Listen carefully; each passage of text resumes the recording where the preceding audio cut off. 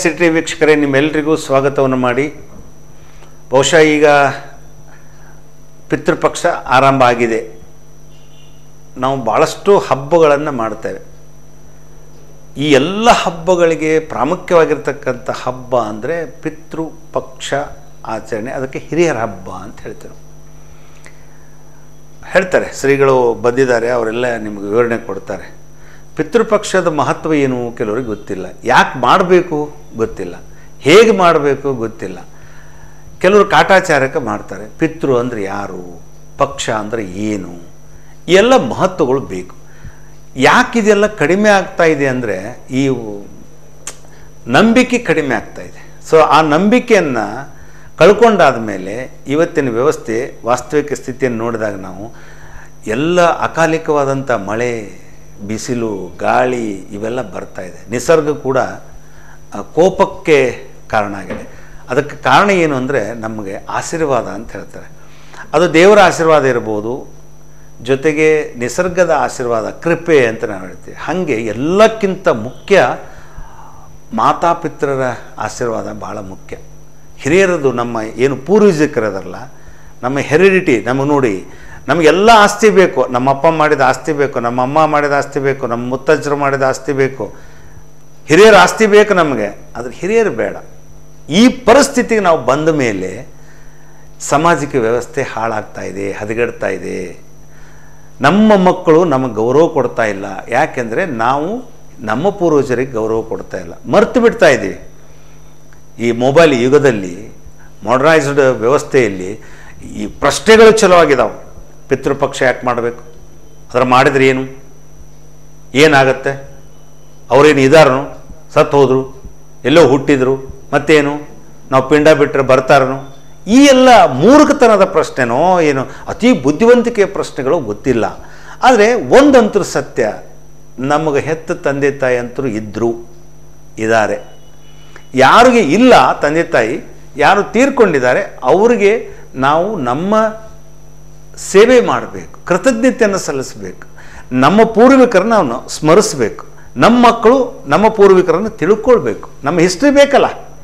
ಇತಿಹಾಸ ಬೇಕಲ್ಲ? ನಮ್ಮ ದೇಶ ಅಂದ್ರೇನು ರಾಜ್ಯ ಅಂದ್ರೇನು ನಾಡು ಅಂದ್ರೇನು ಇದನ್ನ ಇತಿಹಾಸ ಹೆಂಗೆ ಓದ್ತೀವೋ, ಹಂಗೆ ನಮ್ಮ ಕುಟುಂಬದ ಇತಿಹಾಸ ಬೇಕು. ನಮ್ಮ ಪೂರ್ವಜಕರು ಯಾರು? ಎಲ್ಲಿಂದ ಬಂದಿ ನಾವು ನಾವ್ಯಾರು? ನಮ್ಮ ಮುಂದಿನ ಪೀಳಿಗೆ ನಮಗೆ ತಿಳ್ಕೊಬೇಕಲ್ಲ? ನೀವು ಯಾವಾಗ ಇದನ್ನು ಕೇಳ್ತೀರಿ ಅಂದರೆ ಕನ್ಯೆ ಕೊಡುವಾಗ ವರ ತಗೊಳ್ಳುವಾಗ, ವರ ಕೊಡುವಾಗ ಕನ್ಯೆ ತಗೊಳ್ಳುವಾಗ ಅಷ್ಟೇ. ನಿಮ್ಮಂತನ ಹಂಗೆ, ನಿಮ್ಮಂತನ ಹಿಂಗೆ, ದುಡ್ಡು, ಆಸ್ತಿ, ಅಂತಸ್ತು, ಶ್ರೀಮಂತಿಕೆ. ಹೌದು, ಧರ್ಮ ಬೇಕಲ್ಲ. ನಾವು ಮಾಡುವ ಧರ್ಮ, ಕರ್ಮಗಳು, ಅವೆಲ್ಲ ನಮ್ಮನ್ನು ಬೇಕಲ್ಲ, ಬೆನ್ನತ್ತಿ ಬರ್ತವೆ. ಸೊ ಇವುಗಳನ್ನು ತಿಳ್ಕೊಳ್ಬೇಕಾಗಿದೆ ಇವತ್ತು ನಮ್ಮ ಪೀಳಿಗೆಗಳು. ಯುವ ಜನಾಂಗಕ್ಕೆ ನಾವು ಏನು ಕೊಡ್ತಾ ಇದ್ದೀವಿ ಅನ್ನೋದು ಭಾಳ ಮುಖ್ಯ ಇದೆ.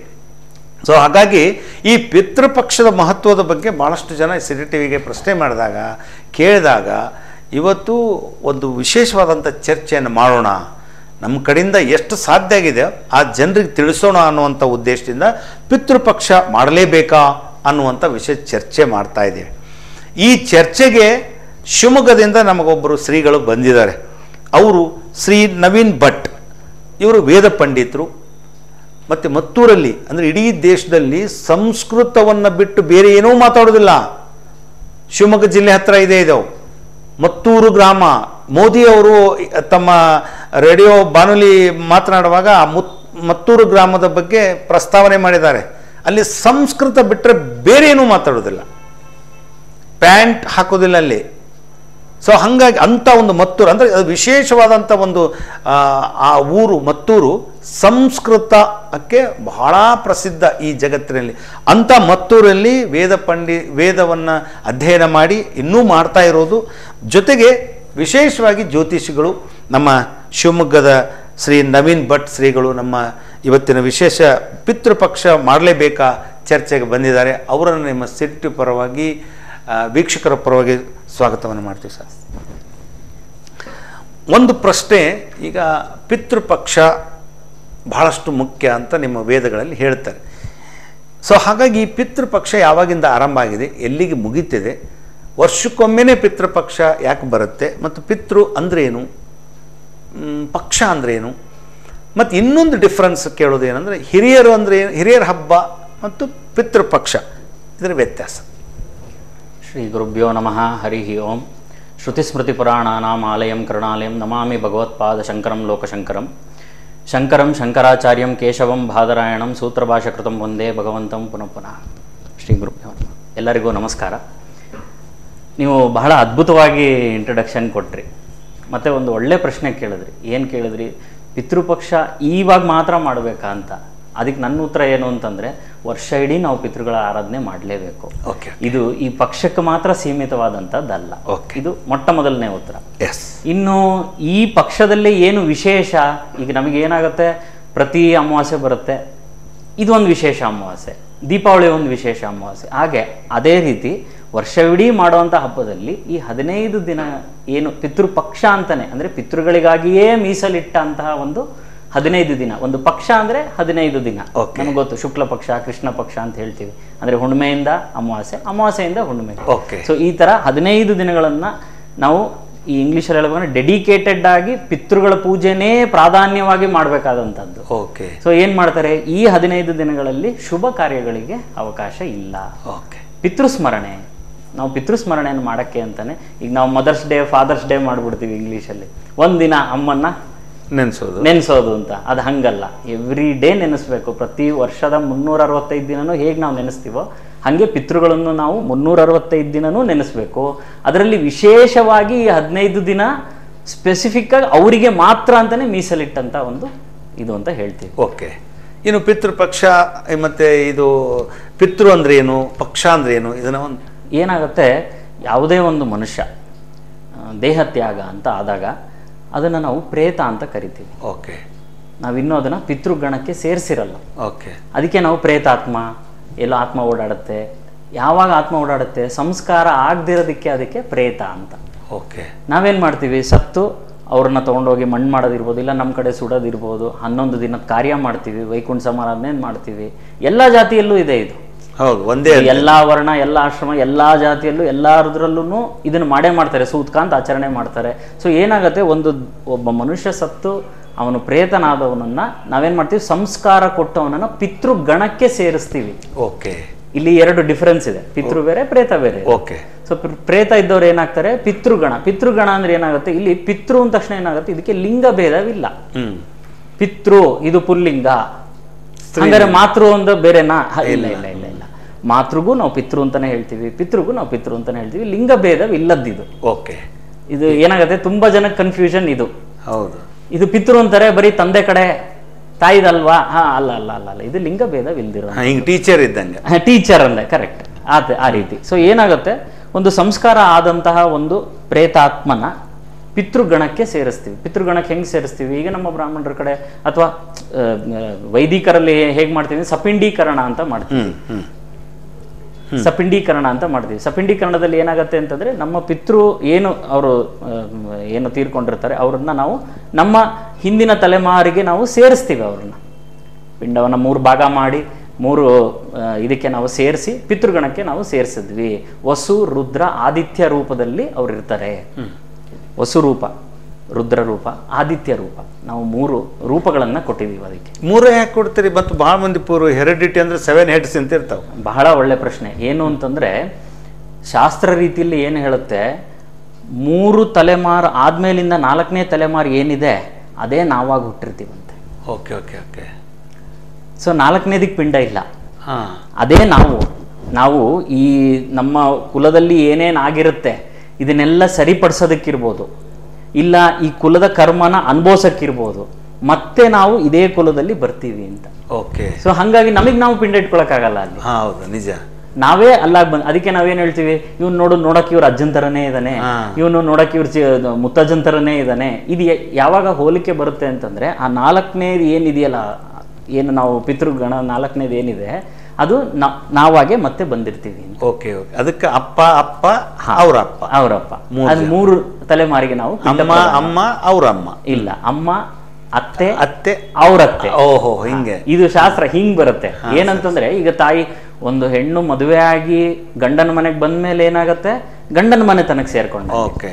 ಸೊ ಅವರಿಗೆ ಲೀನಿಯೇಜ್ ಅಥವಾ ನಾವು ಏನ್ ಹೇಳ್ತೀವಿ ಯಾವ ರೀತಿ. ಶ್ರಾದ್ದ ನಾವು ಇಡಬೇಕು ಅಂತಂದ್ರೆ ಅಮ್ಮ ನಮ್ಮ ಅಮ್ಮನ ಅತ್ತೆ ನಮ್ಮಮ್ಮನ ಅತ್ತೆಯ ಅತ್ತೆ. ಅತ್ತೆ. ಓಕೆ ಓಕೆ ಸೊ ಈ ರೀತಿ ಬರುತ್ತೆ. ಓಕೆ ನಾವು ಪಿತೃಗಣ ಅಂದರೆ ಆ ರೀತಿ ತಗೊಂತೀವಿ. ಸೊ ಇದು ನಾ ಹೇಳ್ದಂಗೆ ವಿಶೇಷವಾಗಿ ಹದಿನೈದು ದಿನಗಳ ಕಾಲ ಏನಿದು ಪಿತೃಪಕ್ಷ ಅಂತ ಏನಿದೆ ಇದು ಬಹಳ ಪ್ರಾಶಸ್ತ್ಯವಾದ ಹದಿನೈದು ದಿನ. ಇದು ನಿಮಗೆ ಹೆಂಗೆ ಹೇಳ್ತಾರೆ ಅಂತಂದರೆ ಶಾಸ್ತ್ರದಲ್ಲಿ ಇನ್ನೂ ಬೃಹದ್ದಾಗಿ ವರ್ಣನೆ ಮಾಡಿದ್ದಾರೆ. ಇದು ನಿಮಗೆ ಒಂದು ಗ್ರಹಣ ಕಾಲದಲ್ಲಿ ದಾನ ಮಾಡಿದ್ರೆ ಎಷ್ಟು ಶ್ರೇಷ್ಠನೋ ಈ ಹದಿನೈದು ದಿನನೂ ಗ್ರಹಣ ಅಂತ ಅನ್ಕೊಳ್ಳಿ ಅಂತ. Okay okay. ಅಷ್ಟು ಶ್ರೇಷ್ಠ. ಈಗ ಈ- ಈ ಪಿತೃಪಕ್ಷದ ಮಹತ್ವ ಹೇಳೇನು? ಅದೇ. ಪಿತೃಪಕ್ಷ ಅದೇ ಏನು ಅಂತಂದರೆ ನಮಗೆ ನಮ್ಮ ತಂದೆ ತಾಯಿಗಳು ಸಾಕಕ್ಕೆ ಹೊಟ್ಟೆ ಬಟ್ಟೆ ಕಟ್ಟಿ ನಮ್ಮನ್ನು ಒಂದು ಸ್ಕೂಲಿಗೆ ಸೇರಿಸೋದಿರ್ಬೋದು ನಮಗೆ ಹುಷಾರಿಲ್ದಾಗ ಆಸ್ಪತ್ರೆಗೆ ಕರ್ಕೊಂಡು ಹೋಗೋದಿರ್ಬೋದು ನಮಗೆ ಎಡವು ಬಿದ್ದರೆ ಏನೂ ತೊಂದರೆ ಆಗದಿರಂಗೆ ನಡ್ಕೊಳ್ಳೋವಂಥದ್ದು ಇರ್ಬೋದು ಪ್ರತಿಯೊಂದು ಮಾಡಿರ್ತಾರೆ. ಇದೆಲ್ಲದಕ್ಕಿಂತ ಮೀರಿದ್ದಾಗಿ ನಮಗೆ ಮೂರೊತ್ತು ಊಟ ಹಾಕಿರ್ತಾರೆ. ಮೂರೊತ್ತು ಊಟ ಜನ್ಮ ಕೊಟ್ಟಿರ್ತಾರೆ. ಹೌದೌದು. ಮತ್ತೆ ಹಸಿವಿಲ್ಲದೆ ನಮಗೆ ಹಸಿವು ಹಸಿವು ಇಟ್ಕೊಂಡು ನಮ್ಗೆ ಯಾವತ್ತೂ ಮಲಗಿಸಿರಲ್ಲ ತಂದೆ ತಾಯಿಗಳು. ಅವ್ರ ಹಸುವಿಂದ ಮಲಗಿರ್ತಾರೆ ಮಕ್ಕಳಿಗೆ ಯಾವತ್ತೂ ಊಟ ಹಾಕಿರ್ತಾರೆ. ಹೌದು. ಸೊ ಇದೆಲ್ಲ ಕೇಳಿದಾಗ ಏನನ್ಸುತ್ತೆ ನಾನು ನೋಡಿ ನಮ್ಮ ಶಾಸ್ತ್ರದಲ್ಲಿ ಹೇಗೆ ಮಾಡಿದ್ದಾರೆ ಅಂತಂದ್ರೆ ಯಾರಿಗೂ ಏನು ನೋವಾಗದೇ ರೀತಿಯಲ್ಲಿ ಮಾಡಿರುವಂಥ ಶಾಸ್ತ್ರ ಇದು. ಅದಕ್ಕೆ ಇದಕ್ಕೆ ಬಹಳ ಇತಿಹಾಸ ಇದ್ದು ಇಷ್ಟು ಋಷಿ ಮುನಿಗಳಿಂದ ಬಂದಂಥ ಶಾಸ್ತ್ರ ಇದ್ರೂ ಇದನ್ನು ಯಾಕೆ ನಶಿಸೋಕ್ಕಾಗಲ್ಲ ಅಂತಂದ್ರೆ ಇದರಲ್ಲಿ ನಮಗೆ ಪ್ರತಿಯೊಂದು ಹೆಜ್ಜೆಲ್ಲೂ ಧರ್ಮನ ಹೇಳ್ಕೊಟ್ಟಿದ್ದಾರೆ. ಪ್ರತಿಯೊಂದು ಹೆಜ್ಜೆಯಲ್ಲಿ ನೀ ಹಿಂಗೆ ಕೂತ್ಕೋಬೇಕು ನೀನು ಎಡಗೈಯಲ್ಲಿ ಮುಟ್ಟಬಾರ್ದು ಬಲ್ ಕಾಲಲ್ಲಿ ಮುಟ್ಟಿಸ್ಬಾರ್ದು ಎಡಗಡೆಗೆ ಉಗುಳಬಾರ್ದು ಸೋಮವಾರ ತಲೆಗೆ ಎಣ್ಣೆ ಹಾಕೋಬಾರ್ದು ಶನಿವಾರ ಹಾಕೊಳ್ಳೇಬೇಕು. ಇದೆಲ್ಲ ಧರ್ಮ ಧರ್ಮಶಾಸ್ತ್ರದಲ್ಲಿ ಇದೆಲ್ಲ ಬರುತ್ತೆ. ಹಾಕೊಟ್ಬಿಟ್ರೆ ಅಂದ್ರೆ ನಮ್ಮ ನಿತ್ಯಾಚರಣೆಯಲ್ಲೇ ನಮಗೆ ಧರ್ಮ ಕೊಟ್ಬಿಟ್ಟಿದ್ದಾರೆ. ಇದನ್ನ ಅಷ್ಟು ಸುಲಭವಾಗಿ ನಮ್ಮಿಂದ ತೆಗಿಯಕ್ಕಾಗಲ್ಲ. ಬಂದ್ಬಿಟ್ಟಿದೆ ಇದು. ಇದು ಕಂಟಿನ್ಯೂಡ್ ಆಗಿ ನಮಗೆ ಬಂದಿರುವಂಥ ಶಾಸ್ತ್ರ ಇದು. ಹಾಗಾಗಿ ನಮ್ಮ ಶಾಸ್ತ್ರ ರೀತಿಯಲ್ಲೂ ಅಷ್ಟೇ. ಪಿತೃಗಳಿಗೆ ಬಹಳ ಪ್ರಧಾನ ಒಂದು ಸ್ಥಾನಮಾನವನ್ನ ಕೊಟ್ಟಿದ್ದಾರೆ. ಇದು ಹಿರಿಯರ ಹಬ್ಬ ಮತ್ತು ಪಿತೃಪಕ್ಷ ಮಾಳಪಕ್ಷ ಏನು ವ್ಯತ್ಯಾಸ ಇವು ಅಂತ? ಇದೇನಾಗುತ್ತೆ? ಒಂದೊಂದು ಪ್ರಾಂತ್ಯದಲ್ಲಿ ಒಂದೊಂದು ಹೆಸರಿಂದ ಕರೀತಾರೆ. ಓಕೆ. ಈಗ ಕೆಲವೊಂದು ಕಡೆ ಮಾಳಪಕ್ಷ ಅಂತ ಹೇಳ್ತಾರೆ. ಸರ್ವ ಪಿತೃ ಅಮಾವಾಸ್ಯೆ ಅಂತ ಕರೀತಾರೆ. ಇನ್ನು ಕೆಲವೊಂದು ಕಡೆ ಪಿತೃಪಕ್ಷ ಅಂತಾರೆ. ಇನ್ನೊಂದು ಕಡೆ ಮಹಾಲಯ ಪಕ್ಷ ಅಂತ ಕರೀತಾರೆ. ಇದೆಲ್ಲ ಎಲ್ಲ ಒಂದೇ. ಈಗ ಪ್ರಾಂತ್ಯದ ರೀತಿಯಲ್ಲಿ ಹೆಸರು ಬದಲಾಗ್ತಾ ಹೋಗುತ್ತೆ. ಪ್ರಾಂತ್ಯದ ರೀತಿಯಲ್ಲಿ ಆಚರಣೆ ಬದಲಾಗ್ತಾ ಹೋಗುತ್ತೆ. ಈಗ ನನಗೆ ನೀರಿಲ್ದಿರೋ ಜಾಗದಲ್ಲಿ ನೀ ನೀರಿಂದನೇ ಮಾಡು ಅಂದ್ರೆ ಆಗಲ್ಲ. ಹಾ. ಮರುಭೂಮಿ ಅದಕ್ಕೆ ಒಂದು ಆಲ್ಟರ್ನೇಟ್ ಇಟ್ಟಿರ್ತಾರೆ. ಆ ಪ್ರಾಂತ್ಯಕ್ಕೆ ತಕ್ಕಂಗೆ ಒಂದು ಆಲ್ಟರ್ನೇಟ್ ಇರುತ್ತೆ. ರೈಟ್ ಸೊ ಇದೇನಂತೀವಿ ನಾವು? ಎಲ್ಲದರಲ್ಲೂ ಅಷ್ಟೇ. ದೇಶ ಕಾಲ ಪಾತ್ರ ಅಂತ ಮೂರು ರೀತಿಯಲ್ಲಿ ನಾವು ನೋಡಬೇಕು ಅಂತ. ಯಾವುದೇ ಒಂದು ವಸ್ತು ಆಗಲಿ ಯಾವುದೇ ಒಂದು ಸ್ಥಿತಿ ಆಗಲಿ ಇದನ್ನು ನಾವು ಮೂರು ರೀತಿಲಿ ಅನಲೈಸ್ ಮಾಡಬೇಕು. ಒಂದು ದೇಶ ಒಂದು ಕಾಲ. ನಾವು ಯಾವ ಕಾಲದಲ್ಲಿದ್ದೀವಿ? ಇನ್ನೇನು ದೊಡ್ಡ ರಾಜ ಆಗ್ತೀಯಾ? ಆಗಲ್ಲ. ಈಗ ನೀವು ಕತ್ತಿ ಹಿಡ್ಕೊಂಡು ಓಡಾಡೋಕ್ಕಾಗಲ್ಲ. ಒಳಗಾಕ್ಬಿಡ್ತಾರೆ ಆಯುಧ ಹಿಡ್ಕೊಂಡು ರೋಡಲ್ಲೆಲ್ಲ ಓಡಾಡ್ತಿದ್ದಾನೆ ಅಂತ. ಹೌದು. ಹಾಗೆ ದೇಶ. ಒಂದು ನಾವು ಯಾವ ದೇಶದಲ್ಲಿದ್ದೀವಿ? ನಾನು ಅಫ್ಘಾನಿಸ್ತಾನದಲ್ಲಿ ಹೋಗಿ ನಾನೇ ರಾಜ ಅನ್ನೋಕ್ಕಾಗಲ್ಲ. ಆ ದೇಶದಲ್ಲಿ ಕಾನೂನು ಬೇರೆ ಇದೆ. ಕಾಲ ನಾವಿರೋ ಕಾಲದಲ್ಲಿ ಕಾಲ ಮಿತಿಲಿ ಏನಿರುತ್ತೋ ಅದ್ರ ತಕ್ಕನಂಗೆ ಇರುತ್ತೆ. ಮತ್ತು ಪಾತ್ರ ಪಾತ್ರ ಅಂದರೆ ನೀವಿರೋ ಸಮುದಾಯ. ಈಗ ಏನಾಗುತ್ತೆ? ಜೈನ್ ಸಮುದಾಯನೇ ಬೇರೆ ರೀತಿ ಇರುತ್ತೆ, ಬ್ರಾಹ್ಮಣ ಸಮುದಾಯ ಬೇರೆ ರೀತಿ ಇರುತ್ತೆ, ಆಮೇಲೆ ಶೆಟ್ಟರ್ ಅವರ ಸಮುದಾಯ ಬೇರೆ ರೀತಿ ಆಚರಣೆ ಇರುತ್ತೆ. ನೀವು ಯಾವ ಪ್ರ ಪಾತ್ರದಲ್ಲಿ ಇರ್ತೀರಿ ಪಾತ್ರ ಅಂದರೆ ನೀವು ಅದರಲ್ಲಿ ಒಂದಾಗಿರ್ತೀರಿ ಅಂತ. ಆ ರೀತಿಯಲ್ಲಿ ನಿಮ್ಮ ಆಚರಣೆಗಳು ಇರುತ್ತೆ. ಹಿರಿಯರ ಹಬ್ಬಕ್ಕೆ ಇದಕ್ಕೇನು ವ್ಯತ್ಯಾಸ? ಹಿರಿಯರ ಹಬ್ಬ ಅಂತಾರೆ ಇಲ್ಲಿ ಕಡೆ. ಹೌದು. ಹಿರಿಯರ ಹಬ್ಬ ಏನಂತಂದ್ರೆ ಇದು ಇದು ಅಷ್ಟೇ. ಇದು ಹೆಂಗ್ ಬಂತು ಅಂತಂದ್ರೆ ಈ ದೇಶ ಕಾಲ ಪಾತ್ರದಲ್ಲೇ ಬಂದಿರುವಂತದ್ದು ಅವರವರ ಅನುಕೂಲಕ್ಕೆ ತಕ್ಕಂಗೆ ಅವರವರ ಮನೆತನದಲ್ಲಿ ಒಂದೊಂದು ಇದನ್ನ ಹಾಕೊಟ್ಟಿರ್ತಾರೆ. ಕೆಲವ್ರು ಏನ್ ಮಾಡ್ತಾರೆ? ಮಹಾಲಯ ಅಮಾವಾಸ್ಯೆ ದಿನ ಎಡೆ ಇಡ್ತಾರೆ. ಕೆಲವ್ರು ಏನ್ ಮಾಡ್ತಾರೆ? ಇದಕ್ಕೆ ಮಹಾ ಅಮಾವಾಸ್ಯೆ ಅಂತ ಯಾಕೆ ಬಂತು? ಎಲ್ಲ ಅಮಾವಾಸ್ಯನೂ ಬರ್ತಾವೆ. ಬಟ್ ಇಲ್ಲಿ ಇದು ಮಹಾಶಿವರಾತ್ರಿ ಬಿಟ್ಟರೆ ನೆಕ್ಸ್ಟ್ ಬರೋದೇ ಇದು ಮಹಾ ಅಮಾವಾಸ್ಯೆ ಅಂತಾರೆ. ಹೌದು. ನೋಡಿ ಇದು ಬಹಳ ಒಳ್ಳೆ ಪ್ರಶ್ನೆ. ಯಾಕೆ ಅಂತಂದ್ರೆ ಪ್ರತಿ ತಿಂಗಳು ಅಮಾವಾಸ್ಯೆ ಬರೋದು ಇದಕ್ಕೆ ಯಾಕೆ ಮಹಾ ಅಮಾವಾಸ್ಯೆ ಅಂತ. ಇದಕ್ಕೆ ನಾವು ಮೂರು ರೀತಿಯಲ್ಲಿ ನಾವು ಅನಲೈಸ್ ಮಾಡ್ಬೋದು ಇದನ್ನ. ಯಾಕೆ ಇದಕ್ಕೆ ಮಹಾ ಅಮಾವಾಸ್ಯೆ ಅಂತಾರೆ? ಏನು ಅಂತ ಮಹತ್ವತೆ ಏನಿದೆ ಈ ಅಮಾವಾಸ್ಯೆಯಲ್ಲಿ ಅಂತ ಹೇಳಿ ಸುಮ್ಮನೆ ನಾವು ಸೂಕ್ಷ್ಮವಾಗಿ ಜ್ಯೋತಿಷ್ಯ ಅಂದರೆ ಅಸ್ಟ್ರಾನಾಮಿಕಲಿ ಅಸ್ಟ್ರಾಲಜಿ ಬೇಡ. ಅಸ್ಟ್ರಾನಾಮಿಕಲಿ ನಾವು ನೋಡಕ್ಕೆ ಹೋದರೆ ಏನಾಗುತ್ತೆ? ಈ ಅಮಾವಾಸ್ಯೆ ಆಗುವಂತಹ ಟೈಮ್ ಏನಿದೆ? ಇವ ಆ ಟೈಮಿನಲ್ಲಿ ರವಿ ಏನಿರ್ತಾನೆ ಕನ್ಯಾ ರಾಶಿ ಹಸ್ತಾ ನಕ್ಷತ್ರದಲ್ಲಿ ಇರ್ತಾನೆ ಓಹೋ. ರವಿ ಕನ್ಯಾ ರಾಶಿಯ ಹಸ್ತಾ ನಕ್ಷತ್ರದಲ್ಲಿ ಇರ್ತಾನೆ ಚಂದ್ರ ಅದೇ ಹಸ್ತಾ ನಕ್ಷತ್ರಕ್ಕೆ ಬಂದಾಗ ಅಮಾವಾಸ್ಯೆ ಆಗದೆ ರವಿಚಂದ್ರರು ಒಟ್ಟಿಗಿದ್ದಾಗ. ಸೊ ಏನಾಯ್ತು? ಪ್ರತಿ ಬೇರೆ ಬೇರೆ ಭಾಗಗಳಲ್ಲೆಲ್ಲ ಅಮಾವಾಸ್ಯೆ ಆಗುತ್ತೆ. ಆದ್ರೆ ಕನ್ಯಾ ರಾಶಿ ಹಸ್ತ ನಕ್ಷತ್ರಕ್ಕೆ ಯಾಕೆ ಪ್ರಾಧಾನ್ಯತೆ? ಹಸ್ತ ಅಂದ್ರೆ ಏನು? ಕೈ. ಕೈ ಇದು ಒಂದು ಪಾರ್ಟ್ ಎರಡನೇದೇನು? ಹಸ್ತ ನಕ್ಷತ್ರಕ್ಕೆ ಅಧಿಪತಿನೇ ಸವಿತ್ರು ಅಂತ. ಸವಿತ್ರು ಅಂದ್ರೆ ಸೂರ್ಯ. ಸೂರ್ಯ ತನ್ನ ನಕ್ಷತ್ರಕ್ಕೆ ಅಂದ್ರೆ ತನ್ನ ಹುಟ್ಟಿದ ನಕ್ಷತ್ರಕ್ಕೆ ತಾನೇ ಬಂದಾಗ ಸೂರ್ಯ ಹುಟ್ಟಿದ್ದು ಹಸ್ತ ನಕ್ಷತ್ರದಲ್ಲಿ. Okay okay. ಗ್ರಹಗಳಿಗೂ ಒಂದೊಂದು ಹುಟ್ಟಿದ ನಕ್ಷತ್ರಗಳಿದೆ. ಸೊ ಸೂರ್ಯ ಹುಟ್ಟಿದ್ದು ಹಸ್ತ ನಕ್ಷತ್ರದಲ್ಲಿ. ಸೂರ್ಯ ಹಸ್ತ ನಕ್ಷತ್ರಕ್ಕೆ ಬಂದಾಗ ಚಂದ್ರನೂ ಅಲ್ಲಿಗೆ ಬಂದಾಗ ಅದು ಹಸ್ತ. ನಾವು ತರ್ಪಣ ಕೊಡಬೇಕು. ಹಸ್ತದಿಂದ ತರ್ಪಣ ಕೊಡಬೇಕು. ಹಂಗಾಗಿ ಏನಾಗುತ್ತೆ? ಅಲ್ಲಿ ವಿಶೇಷ ಅಮಾವಾಸ್ಯೆ ಅಂತ ಆಗತ್ತೆ. ಚಂದ್ರನೂ ಅಲ್ಲಿರ್ತಾನೆ ಸೂರ್ಯನೂ ಅಲ್ಲಿರ್ತಾನೆ. ನಾವು ಇದನ್ನ ಇನ್ನೊಂದು ರೀತಿಲಿ ವೇದಾಂತ ರೀತಿಲಿ ನೋಡಕ್ ಹೋದ್ರೆ ನಾನು ಸ್ವಲ್ಪ ಸ್ಥೂಲು ಅಂದ್ರೆ ಸೂಕ್ಷ್ಮವಾಗಿ. ಎಕ್ಸ್ಪ್ಲೈನ್ ಮಾಡ್ತೀನಿ. ಅರ್ಥ ಆಗೋರು ಅರ್ಥ ಮಾಡ್ಕೊಳ್ರಿ. ಪ್ರತಿ ಅಮಾವಾಸ್ಯೆಗೂ ನಾವು ಚಂದ್ರನಿಗೆ ಇನ್ನೊಂದು ಹೆಸರು ಸೋಮ ಅಂತ. ಓಕೆ. ಸೋಮ ಅಂದ್ರೆ ಏನು ಅಂದ್ರೆ ಸೋಮರಸ ಅಂತ. ಇದು ಸೋಮ ಅಂದ್ರೆ ಸೋಮರಸ. ದೇವತೆಗಳಿಗೆಲ್ಲ ಶಕ್ತಿ ಎಲ್ಲಿಂದ ಬರುತ್ತೆ? ಸೋಮರಸದಿಂದ ಬರುತ್ತೆ. ಅಂದ್ರೆ ಹೆಂಗೆ ಬರುತ್ತೆ? ಪ್ರತಿ ತಿಥಿಯಲ್ಲಿ ಒಂದೊಂದು ಆ ಭಾಗ ಚಂದ್ರನ ಕಲೆಯನ್ನು ದೇವತೆಗಳು ತಗೋತಾ ಬರ್ತಾರೆ. ಬಂದು ಬಂದು ಬಂದು ಬಂದು ಏನಾಗುತ್ತೆ? ಚಂದ್ರ ಕ್ಷೀಣ ಆಗಿ ಅಮಾವಾಸ್ಯೆ ಆಗ್ತಾನೆ. ಅಂದ್ರೆ ಅವನ ಹತ್ರ ಶಕ್ತಿ ಖಾಲಿಯಾಗಿದೆ. ಓಕೆ. ಈಗ ನಾವು ಶಕ್ ಶಿವಶಕ್ತಿ ಅಂತ ತಗೊಂಬಿಡಿ. ರವಿ ಅಂದರೆ ಈಶ್ವರ ಚಂದ್ರ ಅಂದರೆ ಪಾರ್ವತಿ. ಸೊ ಏನಾಯ್ತು? ಶಕ್ತಿನೆಲ್ಲ ಕೊಟ್ಟು ಅಮ್ಮನವ್ರಿಗೆ ಹೆಸರೇ ಶಕ್ತಿ ಅಂತ. ಅವಳು ಶಕ್ತಿ ಕೊಡೋಳು ಅವಳು ಆಕ್ಚುಲಿ ಸೊ ಶಕ್ತಿನೆಲ್ಲ ಕೊಟ್ಟು ತನ್ನ ಶಕ್ತಿ ಎಲ್ಲ ಖಾಲಿ ಆಯಿತು. ಖಾಲಿ ಆದ್ಮೇಲೆ ಏನಾಯ್ತು? ಅಮಾವಾಸ್ಯೆ ಆಯಿತು. ಅಮಾವಾಸ್ಯೆ ಅಂದ್ರೆ ಅರ್ಥ ಏನು? ಶಿವ ಪಾರ್ವತಿ ಸೇರ್ತಾರೆ. ಅವಳಿಗೆ ಶಕ್ತಿ ಬರ್ತಾ ಹೋಗುತ್ತೆ. ನೆಕ್ಸ್ಟ್ ಏನಾಗುತ್ತೆ? ವೃದ್ಧಿ ಚಂದ್ರ ಒಂದೊಂದೇ ಕಲೆ ಜಾಸ್ತಿ ಆಗ್ತಾ ಜಾಸ್ತಿ ಆಗ್ತಾ ಜಾಸ್ತಿ ಆಗ್ತಾ ಹೋಗಿ ಪೌರ್ಣಮಿ ಆಗುತ್ತೆ. ಮತ್ತೆ ಆ ಶಕ್ತಿ ತಗೋತಾ ಬರ್ತಾರೆ. ಇದು ತುಂಬ ವೇದಾಂತ ಇದೆ ತುಂಬ ತತ್ವ ಇದೆ. ಇದು ನಾನು ತುಂಬ ಸೂಕ್ಷ್ಮವಾಗಿ ಸ್ಥೂಲವಾಗಿ ಹೇಳಿದ್ದೀನಿ ಅಷ್ಟೆ. ಈಗ ಪಿತೃಪಕ್ಷ ಮಾಡಲೇಬೇಕಾ ಅಂತ? ಇದಕ್ಕೆ ನಂದು ಒಂದೇ ಉತ್ತರ. ನಮ್ಮಪ್ಪ ಅಮ್ಮ ನನಗೆ ಹೊಟ್ಟೆ ಹಸುವಿಲ್ಲದೆ ಊಟ ಹಾಕಿ ಮಲಗಿಸಿದ್ದಾರೆ. ನನ್ನ ಸ್ಕೂಲ್ ಫೀಸ್ ಕಟ್ಟಿದ್ದಾರೆ. ಈ ದೇಹ ಅನ್ನೋದು ಏನಿದೆ? ಇವತ್ತು ಅಸ್ತಿತ್ವಕ್ಕೆ ಕಾರಣನೇ ಅವರಾಗಿದ್ದಾರೆ. ಸೊ ಅವ್ರನ್ನ ನೆನೆಸಿ ನಾವು ಒಂದು ಹಿಡಿ ಅನ್ನ ಹಿಡಿದ್ರಲ್ಲಿ ತಪ್ಪೇನಿಲ್ಲ. ಇದು ಮಾಡಲೇಬೇಕಾ? ನಾನು ತುಂಬ ಬುದ್ಧಿಜೀವಿ ಇದ್ದೀನಿ ನಾನು ಯಾಕೆ ಇಡಬೇಕು ಇದನ್ನ? ಇದಿಟ್ಟರೆ ಅವ್ರಿಗೆ ಸೇರುತ್ತಾ? ಇದೆಲ್ಲದಕ್ಕೂ ಉತ್ತರ ಕೊಡೋಣ. ಯಾಕಂತಂದ್ರೆ ಖಂಡಿತ ಸೇರುತ್ತೆ. ಏನಾಗಿದೆ ನಮಗೆ ತುಂಬ ಏನು ನಾವು ಈಗ ನಿಮ್ಮ ವೇದಗಳಲ್ಲಿ ಪುನರ್ಜನ್ಮ ಐತೆ. ಪುನರ್ಜನ್ಮ ಅಂತೀರಿ ನಾವು. ಏ ಮತ್ತೆ ಹುಟ್ತೀವಿ ನಾವು ಅಂತ. ಮತ್ತೆ ಮತ್ತೆ ಹುಟ್ಟಿದ ಮೇಲೆ ಈ ಪಿಂಡ ಇಟ್ಟಿದ್ದು ಯಾರು ತಿನ್ನೋರು ಯಾರು? ಅದೇ ಸರ್ ಏನಾಗುತ್ತೆ? ಒಬ್ಬ ಮನುಷ್ಯ ಹುಟ್ಟುತ್ತಾ ಇದ್ದಾನೆ ಅಂತಂದ್ರೆ ಮೂರು ರೀತಿ ಋಣ ತಗೊಂಡು ಹುಟ್ಟುತ್ತಾನೆ. ಒಬ್ಬ ಮನುಷ್ಯನ ಅಥವಾ ಒಬ್ಬ ಒಂದು ಜೀವಿಯ ಜನನ ಆಗಿದೆ ಅಂತಂದರೆ ಅದು ಮೂರು ರೀತಿಯಾದಂಥ ಋಣದಲ್ಲಿ ಇರುತ್ತೆ ಏನು ಮೂರು ರೀತಿ ಋಣ? ಒಂದು ದೇವ ಋಣ ಇರುತ್ತೆ. ಯಾಕೆ ದೇವ ಋಣ ಇರುತ್ತೆ? ಆ ಭಗವಂತನೇ ನಮಗೆ ಸೃಷ್ಟಿ ಮಾಡಿರೋನು. ಸೊ ಅವನ ಮೇ ನಮಗೆ ಅವನ ಋಣ ಇದ್ದೇ ಇರುತ್ತೆ. ನನ್ನನ್ನು ಸೃಷ್ಟಿ ಮಾಡಿದ್ನಲ್ಲ. ಈ ಈ ದೇಹಕ್ಕೆ ಅದಕ್ಕೆ ಹೇಳ್ತಾರೆ ದಾಸರು ಅದನ್ನ ಹೇಳೋದು ಕಾರಣ ಶರೀರವಿದು ನೀ ದಯದಿ ಕೊಟ್ಟದ್ದು ಸಾಧಾರಣವಲ್ಲ ಸಾಧು ಪ್ರಿಯನೇ ಇದು ಸಾಧಾರಣ ದೇಹ ಅಲ್ಲ ಇದು ಇದರಿಂದ ಎಂತೆಂಥ ಸಾಧನೆಗಳನ್ನು ಮಾಡ್ಬೋದು? ಇಂಥ ದೇಹ ಕೊಟ್ಟಿದ್ದಾನೆ ಭಗವಂತ ಕಣ್ಣು ಕಿವಿ ಮೂಗು ಕೈ ಬಾಯಿ ಎಲ್ಲ ಕೊಟ್ಟಿದ್ದಾನೆ ಪಂಚೇಂದ್ರಿಯಗಳನ್ನು ಕೊಟ್ಟಿದ್ದಾನೆ ಆಸ್ವಾದಿಸಕ್ಕೆ ಕೊಟ್ಟಿದ್ದಾನೆ ಪ್ರತಿಯೊಂದು ಕೊಟ್ಟಿದ್ದಾನೆ. This is the very good weapon ಅಯ್ಯೋ ಖಂಡಿತ ಸರ್ ಇದು ತುಂಬಾ ದೊಡ್ಡ ವೆಪನ್ ಮತ್ತೆ. ಇಂಥ ಒಂದು ಏನು ಶರೀರವನ್ನು ಕೊಟ್ಟಿದ್ದಾನೆ. ಇದರಿಂದ ನಾವು ಸಾಕಷ್ಟು ಸಾಧನೆಗಳನ್ನು ಮಾಡ್ಬೋದು. ಸೊ ದೇವರು ನಮಗೆ ಋಣ ಬಂತ? ದೇವರ ಋಣ. ಇನ್ನು ಪಿತೃಋಣ ಯಾಕೆ ಪಿತೃಋಣ ಬಂತು? ಮತ್ತೆ ನಮ್ಮಪ್ಪ ಅವರಪ್ಪ ಅವರಪ್ಪರಿಂದ ತಾನೇ ನಾನು ಬಂದಿರೋದು. ಹೌದು. ಯಾಕೆ ಪಿತೃಋಣ ಅಂದ್ರೆ ನಂದು ಮೈಯಲ್ಲಿ ಅರಿತಿರೋದು ಅವ್ರ ರಕ್ತ ಡಿ ಎನ್ ಎ. ಸೈನ್ಸು ಇದನ್ನೇ ಹೇಳುತ್ತೆ. ನಿಮ್ಮಪ್ಪ ಇಲ್ಲ ಅವರಪ್ಪ ಅಂತಾರ ಡಿ ಎನ್ ಎ ಇರಲೇಬೇಕು.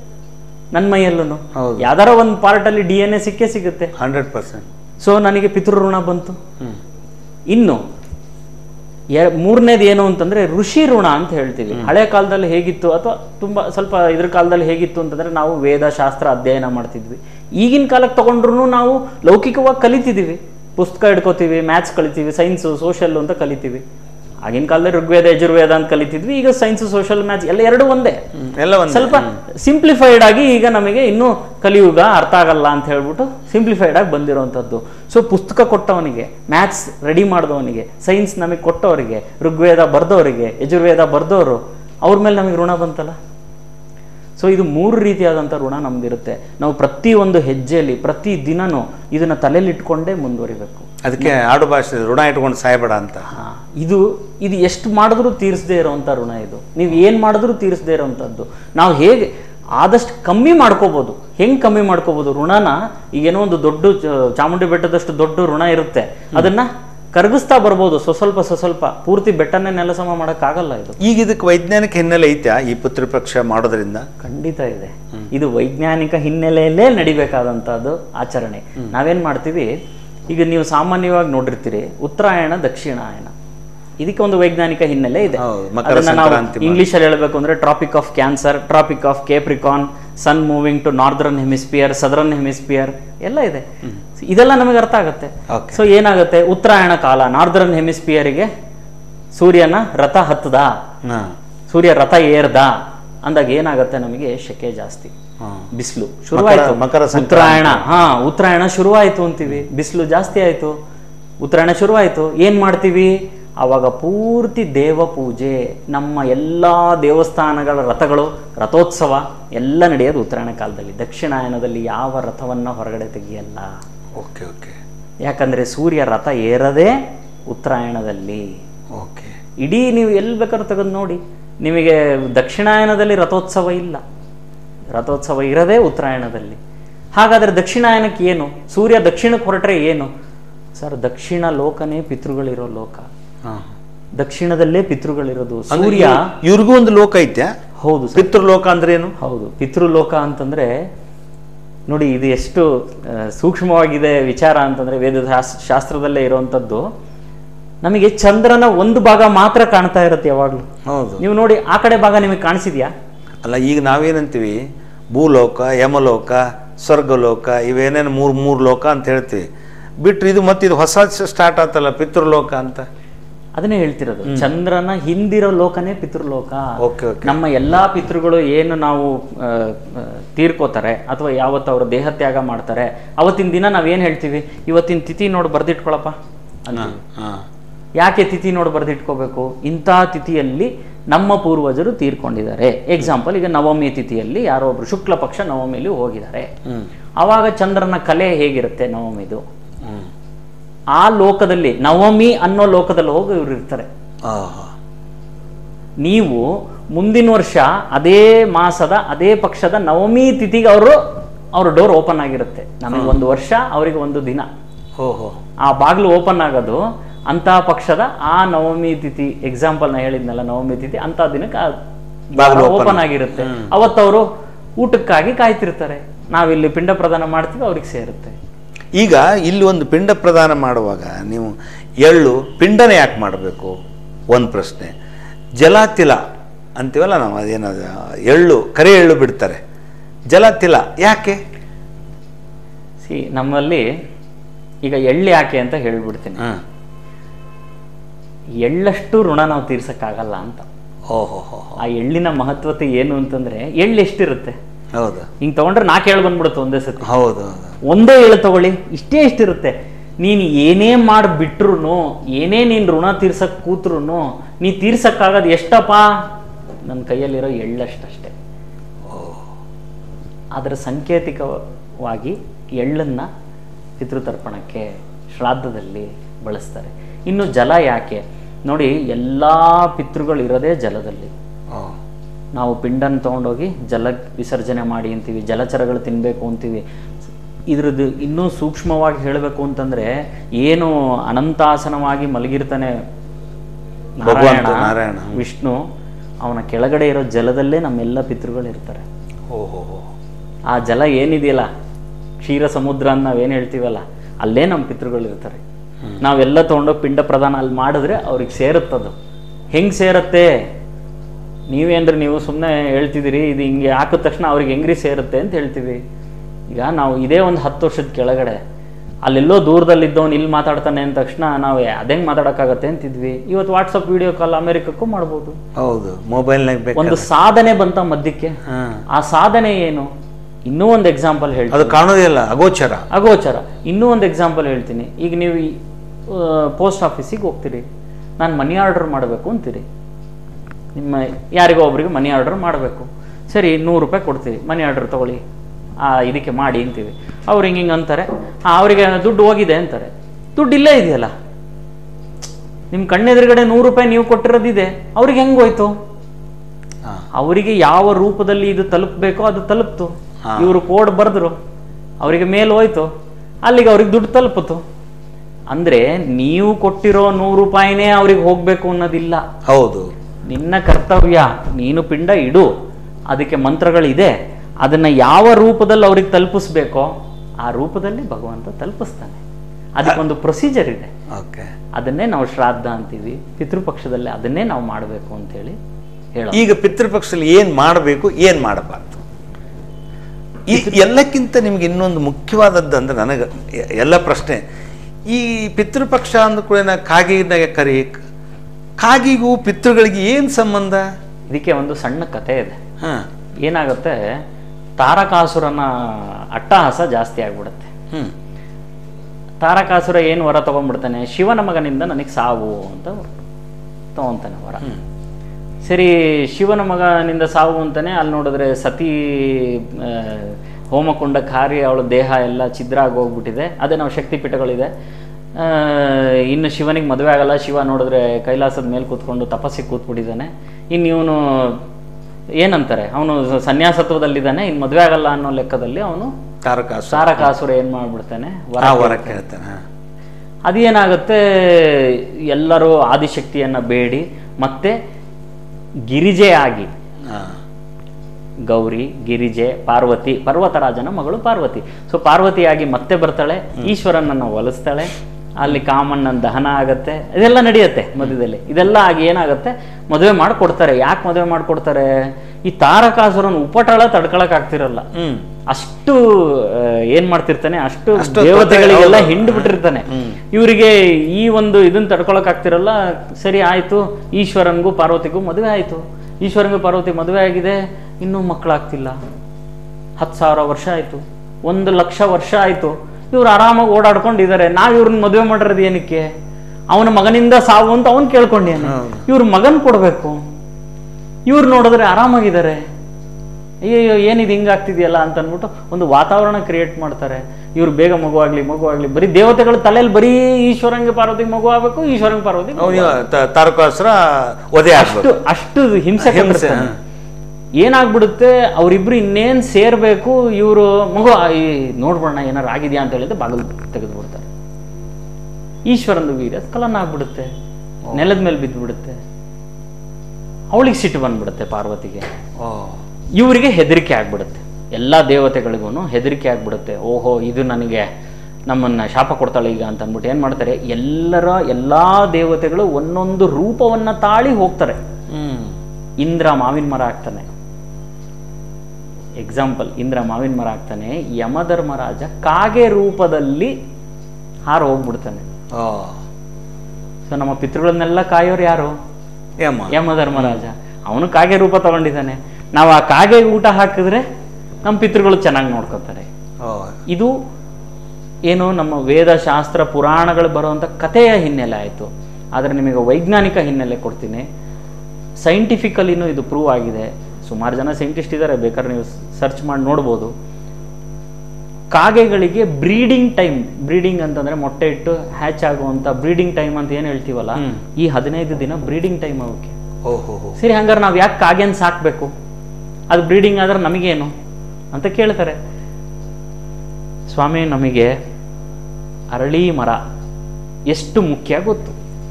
ಅರಳಿ ಮರ ನಮಗೆ ಹೈಯೆಸ್ಟ್ ಆಕ್ಸಿಜನ್ ಕೊಡುವಂತ ಮರ. ಅಂದರೆ ಅರಳಿ ಮರ. ಆ ಅರಳಿ ಮರ ಹೆಂಗೆ ಹುಟ್ಟತ್ತೆ ಗೊತ್ತಾ? ನೀವು ಒಂದು ಬೀಜ ಹಾಕಿ ಹುಟ್ಟಲ್ಲ ಅದು. ಆ ಅರಳಿ ಮರದ ಹಣ್ಣನ್ನ ಕಾಗೆ ತಿಂದು ಅದರ ಮಲ ವಿಸರ್ಜನೆ ಆದಮೇಲೆ ಆ ಬೀಜದಿಂದ ಅರಳಿ ಮರ ಹುಟ್ಟೋದು. ಅದಕ್ಕೆ ನೀವು ಎಲ್ಲಿ ನೋಡಿದ್ರು? ಇದು ಏನೋ ಬಿಲ್ಡಿಂಗ್ಗಳ ಮೇಲೆ, ಅದ್ರ ಮೇಲೆ ಅಲ್ಲೆಲ್ಲ ಹೆಂಗೋಯ್ತು ಬೀಜ, ಅರಳಿ ಮರದ ಬೀಜ ಅಂತ ಅನ್ಸುತ್ತೆ. ಅದು ಯಾಕೆ ಅಂತಂದ್ರೆ ಕಾಗೆ ಹೋಗಿ ಅಲ್ಲಿ ಪಿಕ್ಕೆ ಹಾಕಿರುತ್ತೆ. ಅಲ್ಲಿ ಅರಳಿ ಮರ ಹುಟ್ಟಿರುತ್ತೆ. ನಮಗೆ ಅರಳಿ ಮರ ಬ್ರೀಡ್ ಆಗಬೇಕು ಅಂತಂದ್ರೆ ಕಾಗೆ ಬೇಕು. ಕಾಗೆ ಇಲ್ಲ ಅಂದರೆ ನಿಮಗೆ ಅರಳಿ ಮರ ಇಲ್ಲ. ಅರಳಿ ಮರ ಇಲ್ಲ ಅಂದರೆ ನಮಗೆ ಆಕ್ಸಿಜನ್ ಇಲ್ಲ. ಆಕ್ಸಿಜನ್ ಇಲ್ಲ ಅಂದ್ರೆ ನಾವಿಲ್ಲ. ಇದು ಇಷ್ಟು ವೈಜ್ಞಾನಿಕ ಹಿನ್ನೆಲೆ ಇದೆ ಇದು.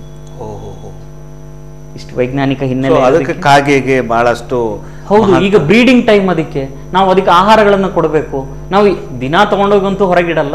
ಇವತ್ತಾದರೂ ಒಂದು ಹಿಡಿ ಇಡ್ತೀವಿ. ಅದು ಬಂದು ತಿನ್ನತ್ತೆ. ಅದಕ್ಕೆ ಬ್ರೀಡಿಂಗ್ ಒಳಗಡೆ. ಶಕ್ತಿ ಆಗತ್ತೆ. ಹದಿನೈದು ದಿನ ಅದು ಬ್ರೀಡಿಂಗ್ ಟೈಮ್ ಒಂದ ಕಣ್ಣು ಅಂತಲ್ಲ ಅದಕ್ಕೆ? ಅದು ಒಂದು ಕಥೆ ಇದೆ. ಅದ ಶುಕ್ಲಾಚಾರ್ಯ ಅದು ಇದು ಅದಿರ್ಲಿ ಆಮೇಲೆ ಮಾತಾಡುವ. ಈ ಕಾಗೆ ಇರುವೆ ಗೋ ಈ ಗೋವುಗೆ ಈ ಟೈಮ್ದಲ್ಲಿ ಆಹಾರ ಕೊಡಬೇಕು ಅಂತ. ಹೌದು ಏನಾಗುತ್ತೆ ಎಲ್ಲಾ ತಿರ್ಯಕ್ ಯೋನಿಗಳು ತಿರ್ಯಕ್ ಯೋನಿಗಳು ಅಂತಂದ್ರೆ ನಮಗೆ ಎಂಬತ್ನಾಲ್ಕು ಲಕ್ಷ ಜೀವರಾಶಿಗಳಿದ್ದಾರೆ. ಹ್ಮ್. ಅದರಲ್ಲಿ ಮನುಷ್ಯನಿಗೆ ಮಾತ್ರ ಯೋಚನಾ ಶಕ್ತಿ ನಡೆಯೋ ಶಕ್ತಿ ದುಡಿಯೋ ಶಕ್ತಿ ಎಲ್ಲ ಭಗವಂತ ಕೊಟ್ಟಿರೋದು. ಇನ್ನು ಉಳುಕಿದ ಎಲ್ಲಾ ಜೀವರಾಶಿಗಳನ್ನು ನಾವು ತಿರಿಯಕ್ ಯೋನಿಗಳು ಅಂತ ಕರಿತೀವಿ. ಆ ತಿರಿಯಕ್ ಯೋನಿಗಳಿಗೆ ನಾವು ಆದಷ್ಟು ಅದನ್ನೇ ನಾವು ಏನು ಹೇಳ್ತೀವಿ ಅಂತಂದ್ರೆ ಒಂದು ಮೂರು ಋಣಗಳನ್ನು ತಗೊಂಡು ಹುಟ್ತೀವಿ. ಅದಲ್ದೇನೆ ನಮಗೇನಾಗುತ್ತೆ?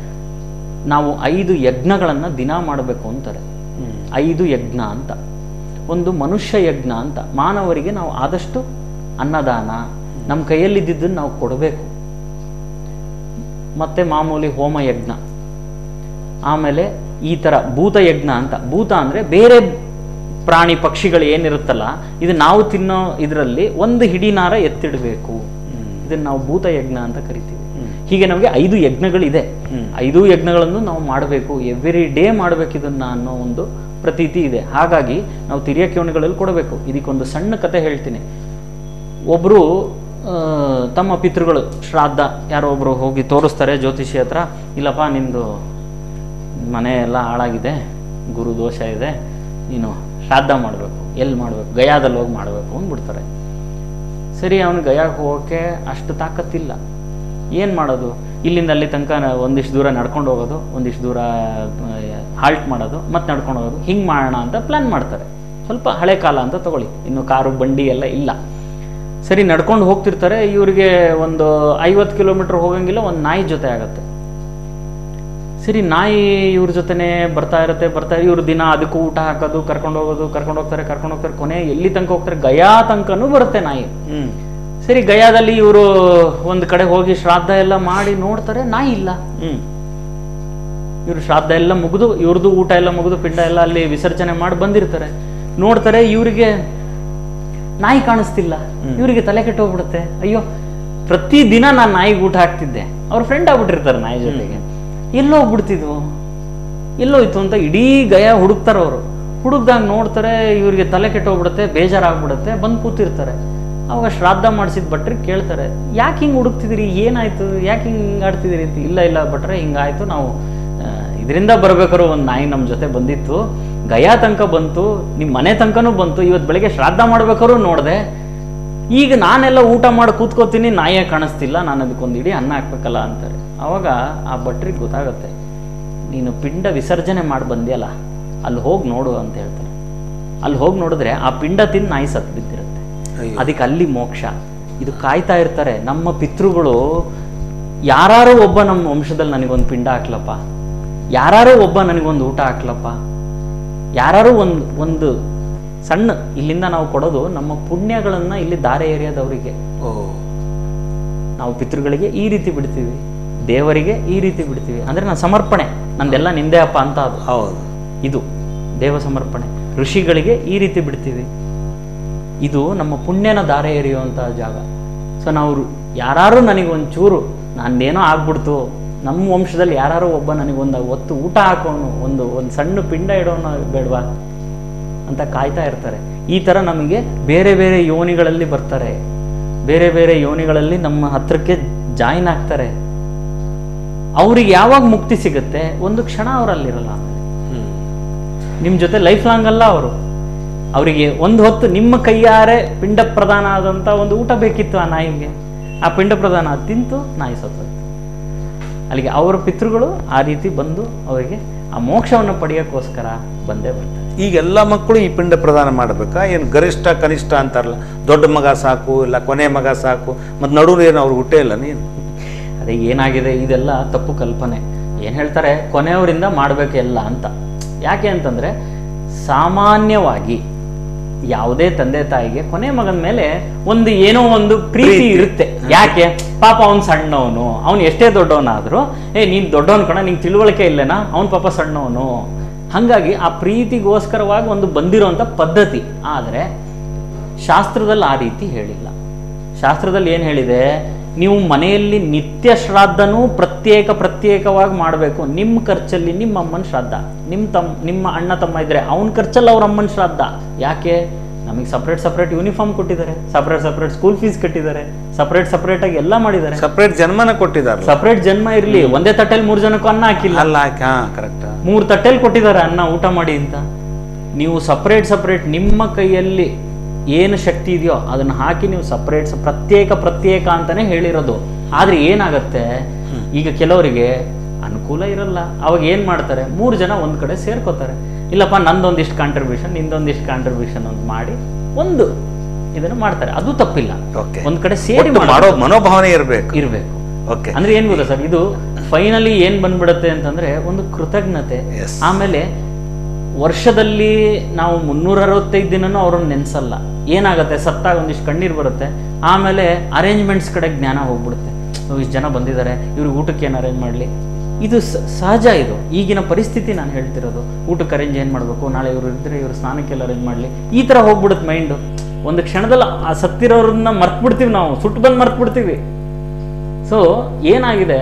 ಶಾಸ್ತ್ರದಲ್ಲಿ ಈ ರೀತಿ ಮರಿಬಾರದು ಅಂತ ಅಂದ್ಬಿಟ್ಟು ಈ ಹದಿನೈದು ದಿನ ಕೊಟ್ಟಿದ್ದಾರೆ. ಅಟ್ಲೀಸ್ಟ್ ಈ ಹದಿನೈದು ದಿನ ನೀನು ಬೇರೆ ಎಲ್ಲ ಬಿಟ್ಟು ಇವ್ರನ್ನ ನೆನ್ಸಪ್ಪ. ಇನ್ನೊಂದು ಸಣ್ಣ ಪ್ರಶ್ನೆ ಇದು ಎಲ್ಲರಿಗೂ ಕಾಣೋದು ನನ್ನಿಂದ ಹಿಡಿದೆ. ಈಗ ನಾನು ನಮ್ಮ ಅಪ್ಪ ತೀರ್ಕೊಂಡ್ರು ಅಂತ ತಿಳ್ಕೊಳ್ಳಿ. ನಾನು ತಿಥಿ ಪ್ರಕಾರ ನಾನು ಅವ್ರದ್ದು ಶ್ರಾದ್ದ ಮಾಡ್ತೇನೆ ಈಗ ಮತ್ತೆ ಮಾಡ್ಬೇಕಾ? ಏನು ಹೇಳ್ತಾರೆ? ನಿತ್ಯ ಕರ್ಮ ನೈಮಿತ್ತಿಕ ಕರ್ಮ ಕಾಮ್ಯ ಕರ್ಮ ಅಂತ ನಮ್ಮಲ್ಲಿ ಕರ್ಮಗಳನ್ನ ವಿಭಜನೆ ಮಾಡಿ ಕೊಟ್ಟಿದ್ದಾರೆ ಈಗ ನಾನು ಸಂಧ್ಯಾ ವಂದನೆ ಮಾಡ್ತಿದ್ದೀನಿ ನಿತ್ಯ ಕರ್ಮ.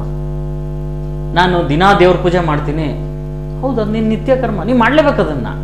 ಹೌದು ಅಪ್ಪ ಒಂದು ತಿಥಿಗೆ ಅವರು ಹೋಗಿರ್ತಾರೆ ಅಮ್ಮ ಇನ್ನೊಂದು ತಿಥಿಗೆ ಹೋಗಿರ್ತಾರೆ. ಸೊ ಅವನ್ನ ಸಪ್ರೇಟ್ ಮಾಡ್ತಿರ್ತಾರೆ. ಮತ್ತು ಈ ಪಿತೃಪಕ್ಷಗಳ ಸಂದರ್ಭ ಮತ್ತೆ ಪುನಃ ಬರಬೇಕು ಮತ್ತೆ ಮಾಡ್ಬೇಕಾ? ಹೌದು. ಯಾಕೆ ಮಾಡಬೇಕು ಅಂತ ಹೇಳ್ತೀನಿ. ಅಲ್ಲೇನಾಗತ್ತೆ ನೀವು ಅಪ್ಪ ಅವರಪ್ಪ ಅವರಪ್ಪನ ಕರೆದಿರ್ತೀರಿ. ಈ ಪಿತೃಪಕ್ಷದ ವಿಶೇಷ ಏನು ಗೊತ್ತಾ ಸರ್? ಇದರಲ್ಲಿ ನಮಗೆ ಇನ್ನೂ ನಾಲ್ಕು ಧರ್ಮಪಿಂಡ ಅಂತ ಇದೆ. ಧರ್ಮಪಿಂಡಗಳು ಅಂತ ನಾಲ್ಕು ಪಿಂಡಗಳನ್ನು ಹಾಕಿಸ್ತಾರೆ. ನಾಲ್ಕು ದಿಕ್ಕಿಗೆ ನಾಲ್ಕು ಪಿಂಡ. ದಕ್ಷಿಣದಿಂದ ಶುರುವಾಗತ್ತೆ. ಹೌದು. ದಕ್ಷಿಣ ಪಶ್ಚಿಮ ಉತ್ತರ ಪೂರ್ವಕ್ಕೆ. ನಾಲ್ಕು ಪಿಂಡ ಧರ್ಮಪಿಂಡ. ಏನದು ಧರ್ಮಪಿಂಡ? ಈ ಮಹಾಲಯ ಅಮಾವಾಸ್ಯೆಯಲ್ಲಿ ನಮ್ಮ ಮನೇಲಿ ಒಬ್ಳು ಕೆಲಸದವ್ರು ಇದ್ರು ಅವ್ರು ತೀರ್ಕೊಂಡಿದ್ದಾರೆ. ನಾನು ಅವ್ರಿಗೊಂದು ಪಿಂಡ ಹಾಕ್ಬೇಕು. ಸರಿ ಅವ್ರನ್ನ ನಂಬ್ಕೊಂಡು ಅವ್ರ ಹೆಂಡತಿ ಮಕ್ಕಳಿದ್ರು ಅವ್ರಿಗೆ ಪ್ರಾಬ್ಲಮ್ ಆಗಿ ಅವ್ರಿಗೂ ಪಿಂಡ ಹಾಕ್ಬೇಕು. ನಮ್ಮ ಮನೇಲಿ ಒಂದು ನಾಯಿ ಇತ್ತು. ನನಗೆ ಭಾಳ ಹತ್ರ ಇತ್ತು. ನಾನು ತುಂಬ ಮುದ್ದಾಡ್ತಿದ್ದೆ ಅದನ್ನ. ನಾನು ಅದನ್ನ ಮಗ ಅಂತ ತಿಳ್ಕೊಂಡ್ಬಿಟ್ಟಿದ್ದೆ. ಅದಕ್ಕೂ ಒಂದು ಪಿಂಡ ಹಾಕು. ನಮ್ಮ ಮನೆ ಹಿಂದ್ಗಡೆ ಒಂದು ಮಾವಿನ ಮರ ಇತ್ತು.